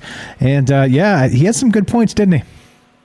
Yeah, absolutely. He's got great points. I mean, the, it's almost like a evolutionary kind of thing. It's how I'm looking at it now. Um, these things aren't going to go away. You know, the xenodes is that what we're talking about today? Xenobots. Yep. Xenobots. I mean, they're here. They've already made them. They're going to keep living. I mean, it's going to be around and around forever. And how that evolves and everything else like that is probably going to be back to like what Jennifer said is like an invasive species. It's going to come in there. It's going to get us. You know, it's going to do something, whether it's good or bad. But the thing is, though, is that's going to change everything. I mean, everything we do on a daily basis changes You know, I smoke, which is a bad habit, and you should never do it. But the thing is, is that changes me every day. You know, the all of our little interactions in our life that we have, no matter what they are, physical, mental, all those things are changing us, and we're evolving. We're becoming smarter, faster. The robot thing kind of worries me a little bit. The microbe thing, the xenobots and stuff like that. It's like, why would you mess with Mother Nature? And you know, maybe I'm a bit of a tree hugger. Just you know, the Mother Nature, God, or however you look at it, will work itself out into being things that are good. But you push something down a road, you might end up being in a place that you don't want to be for a little while. You know, out of gas on a dirt road, waiting for someone to come by. Exactly. After you walk to the farmer's house, may I please use your telephone at two o'clock in the morning? right. Yeah. Uh, we we got some treacherous territory out here in the southwest, and uh, uh, you you don't want to be breaking down the Mojave Desert, especially in the summertime. There's no farmers around. when I lived in South Dakota, when I lived in South Dakota, I, I can't remember when it was. I think it was November 1 till March 30th. If you saw somebody on the side of the road, you were obligated by an unenforced law to make sure that they were okay. You know, Ah, do you have water? Do you have, you're gonna die out here, dude. What are you doing out here? Exactly, You know? exactly. Uh, like like uh, uh, you you don't go dr- make that drive unless you're prepared. Because if you break down on the wrong stretch of road, you're screwed, literally screwed. I'm not shitting you. I've driven through that desert, and uh, I, I was we were we took the dogs. Uh, this is a few years back, but we took the dogs and and uh, Mrs. Strange, and we were we were like, you know, we've never come back from California that way. Let's go that way and let's see what it's like. And there is miles and miles and miles of absolutely nothing. And I shit you not, we're like a car, the only car as far as the eye can see in either direction. But looking out above you, you could see uh, the the uh, the vultures uh, following you. I'm not even. I bet shitting. this car breaks down. I was like, I was like, a fucker. Look, we're already being set up. This is bullshit. Anyway, uh, there, there's a there's a, a nice joke to add to the uh, throw it on the throw it on the fire. But no, I mean, I mean, uh, I think I think Robert's right there. Is and Jennifer's saying it too in the chat here. Uh, a hammer can be used to build, but a hammer can be used in war as well to destroy. And I think that's the that's the point here is that, uh, I, and in part of part of having a troubled mind is that uh, it, it's it's um we're, we're seem to be walking on the razor's edge many times with a lot of this technology stuff that's coming out. You know, again, the metaverse, things like this. That's not even what we're talking about tonight. But but like technology wise, if they're like, okay, you know, this will clean up all the radiation in Fukushima, and they just pour gallons and gallons and gallons of these freaking xenobots, yeah, fine, you might get rid of the radiation, but what about after that? These things are still going to live in the ocean. So what then? It's it's a lot, man. Yeah, it's, it's a lot to the figure out. water's le- yeah, the water's leaking out of the reactors at Fukushima Daiichi, so the xenobots are probably going to be leaking out too. Yeah, oh, uh, exactly, exactly. Yep, yep. So, so I don't know. I don't know. A lot here. A lot here. Uh, what, what are your other thoughts on the rest of this, my man? Uh, just all of it. Goodness Just- gracious, you just just, like, rattled off a whole thousand things there. Well, Uh, just what- I mean, you whatever know, makes I, sense. mean, I look, whatever resonates. I, I mean, I look at what you know what's going on with the kids and stuff like that right now. You know, mine are little, and they love to go out there and play in the dirt and everything else like that. But now they're getting more and more involved in the fact that they just want to sit and play with their child. They want to play hide and go seek in Minecraft now instead of hide and go seek in the backyard. Why? Why, why is that happening? Why are the commercials at the Clifford the Big Red Dog before the movie starts about the metaverse? You know, why is the news cycle coming up right now about the little xenobots that are eating things with frog skin? You know, and that gets me into kind of what Robert was talking about is that they're not doing it for us, you know. Um, Derek said something there about that movie on I can't remember what it was Netflix or whatever. Um, Altered Carbon. where you could transfer your con- or consciousness into a different shell.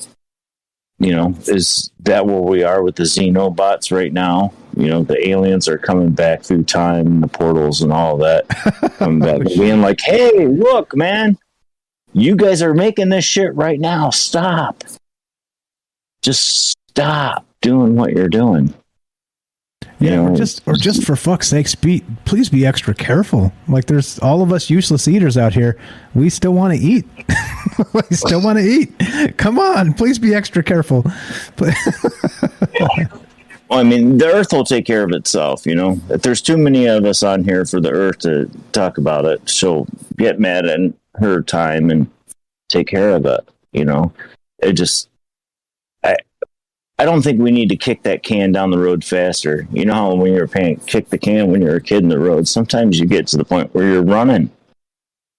The whole point of kick the can is, you know, you give it a little boot and you stroll up to it and give it another boot. I think we, you're right. We need to be very cautious. Just be cautious. Yeah, I just you know, I mean, I, I just hope you know, and, and and the problem is too, like I've said this before. You know, hu- humans are are really good at doing like amazing things, right? They're good at doing terrible things too. But what humans are not good at is being perfect. Perfect on the first try. Perfect. Right? Like when you have so many variables at play and there's still you don't know what you don't know, being perfect in the first round is fucking hard. And that's the problem, right? And if they screw it up and this thing gets out, you know, another lab leak hypothesis, well, who knows? Before it's ready, before they've been able to determine all these things we're ta- we've been talking about tonight. I don't know, man. There's a lot here. It, it concerns me. It, not only that, right? What you know what they've also doing? They're also doing, by the way, which which again just drives me insane. This type of shit. They're scooping up dirt on Mars and they're going to send a probe in the next 10 years to bring that shit back to Earth, right? It's like, wait, like we don't even need alien shit to come here and destroy us. We're making our own alien shit in petri dishes and laboratories here on Earth. just keep it there. Building. just keep it there. yeah, we're. Why don't you drop it off on the moon and we'll see how it goes there for a while. Exactly, exactly. See, that's the kind of 100 cautious, years. Exactly. That's the kind of cautious I'm talking about. Uh, yeah, I don't know, man. Uh, wild stuff. Let's uh, let's let's just say hi to some people who showed up. What's up, guys? Uh, what's uh, Sh- Sherry's over there? Liam's over there. Uh, again, it was shout out to Liam Martin for doing all the great audio mashups. I got more actually. You want to hear another one? Let's see. What do we got? Absolutely. Let's hear one more. Let's hear another one. Let's see. This one is uh, 43 seconds. Let's hear another uh, Michael Strange promo from. Uh, this is from Le- the famous Liam Martin, and uh, that's the mighty Rohan. He's got a podcast called Exiled Minds Podcast EMP. Check it out down in the description below. This is uh, let's let's listen to this. I'm going to play the. I'm going to do this so you can hear it, Jay. Uh, don't say anything on your echo, but here you go. You'll be able to hear this. Let's do this. Uh, go.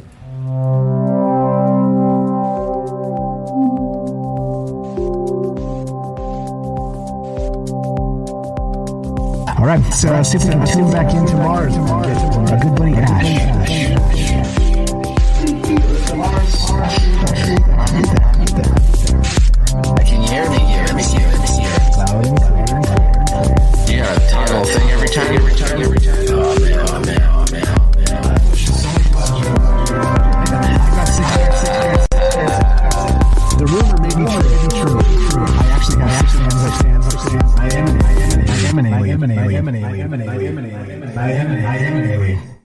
There it is. Thanks, Rohan. That's such great shit. I was going through all, all the all the stuff he sent me last night over the weekend. I'm like, damn, there's some good shit here. We got to play some of these on the shows. Uh, so shout out, uh, do do follow uh, our good buddy Rohan, uh, the famous Liam Martin. He's uh, he's just when he finds finds a whimsy, he'll make up an audio mashup of some Troubled Mind stuff and send it over. And I haven't heard a bad one yet. So fantastic stuff. Thank you, thank you, Liam Martin. All right. Did you hear that, Jay? I think you heard that. I, I did. Yeah, that was perfect. Pretty good stuff. Pretty good stuff. Yeah. All right. So we're at that point. We're at that point. Uh, so Bernays Sauce What's Up says, uh, yeah, make your own destruction. oh, uh, uh, so quick, quick shout outs. We got JT shows up. Uh, we got Treeland T. What's up? Obi's here. What's going on, guys? Lily's here. How's everybody? How's everybody doing tonight? Daryl in New York. I'm glad you're feeling better. You sound so much better. You sound like yourself. Um, uh, Daryl says they're in the gene therapy already. Oh, geez. Oh, no. Don't make me jump off that. What's up? Don is here. How you doing, Don? Thanks for hanging out with us. Um, Matt C says Jim Beam. You- You're in the right right place, my friend. right wavelength. Uh, and Matt says also says this has Doomsday written all over it. Shit. Okay, just gonna just gonna say hi to some folks that uh, showed up at the end here. But uh, yeah, I don't know. I don't know. Uh, what's your final thought on this? Does this make you hopeful for the future? Well, I- would hope that the reason the people that are making it are doing it for a good reason, you know. And I would hope that they're being really cautious, you know. If they're doing it to dissolve oil spills or whatever, I mean, that's great, you know. We use microbes now today. In New York State, we have all kinds of brown sites where people are using chemicals and stuff like that, and they dig up all the dirt and they put microbes in there and bury it in the bottom of the landfill, and it creates methane, and they run power off of it and stuff like that. You know, it's very fascinating when you look at all those kind of things that we're actually doing with what we've done to mess things up. But I do agree with you and the point that we should be unbelievably cautious when you have something that's self-replicating. You know, I've watched a lot of science fiction shows, man. You know, and nothing good ever came out of something that's self-replicating. You know, Right, I mean, exactly. Uh, especially that they didn't program to do that. That's that's the craziest part, right? Well, they programmed to do it the other way is the problem. Is you know the you know the SG one whole thing. That was you know they wanted to take over. You know the the replicators wanted to be the ancients. You know they wanted to have all the ancient knowledge, and they did everything they could do to get it. You know, just at what point you know I just have we created something in you know a thousand years, five thousand years, ten thousand years down the road that's going to be the thing that comes back and gets us, you know, or gets somebody else. You know, it was a weapon. I I don't want to go down that road. I, I, well, well, I mean, I had a thought that it was on the, it was coming off the tip of my tongue, and I wanted to say it, but I didn't. I just, you know, nuclear energy was a great idea, but the reason why they devised it was probably not for good intentions. Yeah, you know, exactly. the people that were inventing it and doing all the research and everything else like that probably had fantastic ideas on what they could do with it. But the people that were funding it were looking for that one particular thing, you know, just money, money, money, money, money. Always the money, isn't it? Always back to the money. Mm. Always back to the money. Yeah. I, uh, well, uh, I mean, there's a lot there. I think. I think the um, the nuclear stuff, right? Uh, it was uh, clearly pushed pushed to the to, to the forefront by war. I mean, we're we're talking about it's always war, isn't it? It's always war, and and so unfortunately, right? Uh, like like Robert was saying too, like in the old days, they never had the technology to like you know tweak tweak a, a, a little thing in a lab and then release the fucking doomsday, right? But we can do that now. Like we have that technology. If somebody wanted to do that shit and be like, "Fuck it, I'm done," right? And all the rest of you are fucked. They could do that and just release the doomsday, whatever it is, and well, here we are. here we are. Well, I mean, it, now we're so smart. The thing is, though, is I mean, it's getting to the point where an average person, if they really wanted to do something like that, they could probably come up with an idea like that and bring it out. You know? Yeah. We, we, we're getting unbelievably smart. You know, YouTube. You know, learn, watch a video on how to learn how to do anything, the procedure. There, there's a YouTube video on how to identify asbestos in an electron microscope. Who needs to watch that? Hey man, do you have an electron microscope? I- do, I- do you have an electron microscope? I think electron microscopes have become pretty cheap, haven't they? I think you can get one. They've they they've come way down. Okay, they're not cheap. I was going to look it up. All right, still not cheap. Still not cheap. The, the average person still cannot own an electron microscope. All right. Uh, Jennifer's got a, a great great uh, comment here as we end this up, as we wind this down. Uh, we have have to be careful. Faith and respect we put in technology. A lot of our technology has empowered slavers, and emboldened cowards. Well said. Sounds like you're a writer, Jennifer. Uh, writers always have the best way of saying things, and uh, well, that's what spawned the Michael Strange monster. I used to write. I used to write because I couldn't speak, and then you just uh, speak, and the writing comes out of you. Eventually, it flows. Every once in a while, I got a zinger. Ah, good shit. Good shit. Um, I don't know. Uh, final thought here, Jay. I, I'm with you. I'm with you in the sense that there's a lot of good that can come of this, right? But uh, again, uh, it, it all comes down to the intention of the people behind it as always, right? And I think that's um, the unfortunate part is because we, as we've learned, a lot of the money, a lot of the elites, a lot of the governments, uh, a lot, you know, they, they don't value individuals because they don't have to. They look at everything as a, stat- a actual statistic, and you know, I, I, I really. That notion pisses, pisses me off because my, as you all know, my ego is as big as the sun. I am not merely a statistic. You know, fuck off. That's not that's not it. I'm an individual, right? And I need to be treated as such. And so does each and every one of you guys. And uh, that's the way I see it. That's the way I see it. So uh, sorry if I'm wrong, but I have that right. There you go. There's- there's You absolutely have that right, Mike. I mean, the thing is, though, is I'm just a carpenter, and I look at the way that we're building buildings now for the super rich. Those things aren't going to last 30 years because they want to use all the new products and everything else. It's like we're building your buildings, we're growing your food, we're bringing you your product across the interstate lines internationally. You know, you don't think you need us. Look at what's happening because we quit. You know, it could. I, I want to leave it at that. Like, you know, just the, the plebs really have the power. The, the chessboard's on our backs to the elites. If we stand up, the game is over. You know, we are. We're standing up. We're learning. We're talking about these things that they're letting us know in little tidbits. But with the internet and the modern age and everything else like that, we're smart enough to put a hundred people together in a room and research the hell out of it and have unbelievably intelligent conversations about all of these things, different ideas, all thrown in a blender to make the greatest maybe juice that could ever be had. Yes, sir. Yes, sir. But that's a testament to you and everybody else out there. And that's uh, again, uh, you know, it's it's uh, once again, but just just just to the point that everything doesn't have to be so damn contentious. Why does everybody got to like have uh, like like it's okay? I, I get it. I, I'm not kidding you. I have a I have a. If you can't tell, I do have a large ego, right? I'm confident, but who cares, right? It doesn't fucking matter. It still doesn't make me more than one person. I'm still one person, right? I could believe that I'm whatever, right? Some ascendant whatever. I'm not. I'm just one person.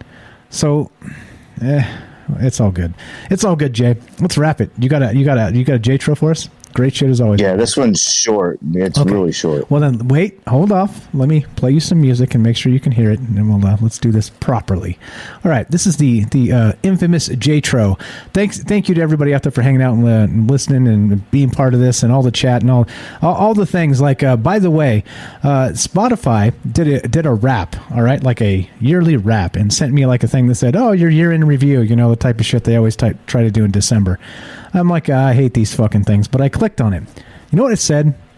On Spotify alone, Troubled Minds Radio this year grew 900%. 900%. Right? Not 900 followers, 900%. Holy shit. And you know what? That's because of you.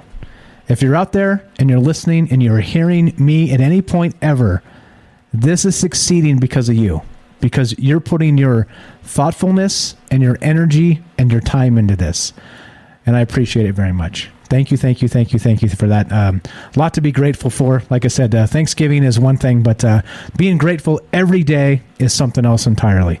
So uh, let's do it, Jay. Here's uh, play some uh, music for you. Let's GTFO. Music coming.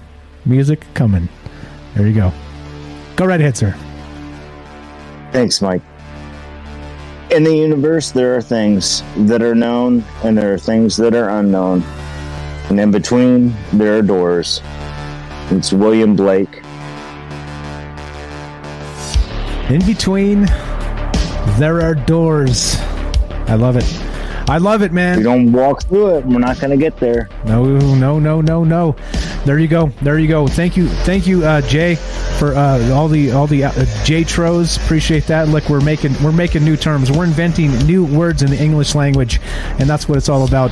I've always been like that when I was young. You guys can probably tell. Just make up my own word. I'm like, fuck it. This kind of sounds like it should be a word. Does this make sense? My brother would shake his head and go, "No, Mike, no."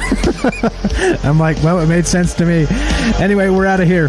Thank you, everybody, once again. Like I said, uh, there's a there's a lot going on here, and uh, the word this is this is a already way larger uh, success than I ever dreamed, and uh, I have ev- each and every one of you to thank for that.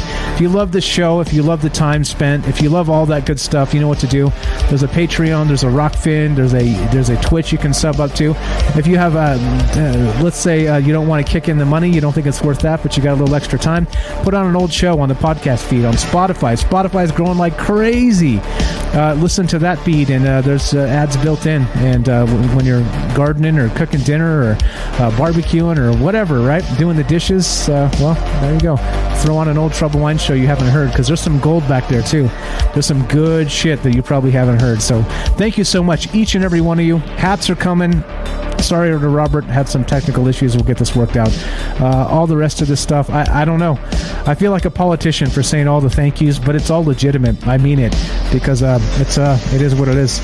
Jay, let's get the hell out of here. Good night, Mike. Good night, Jay. Thank you very much. It was a pleasure.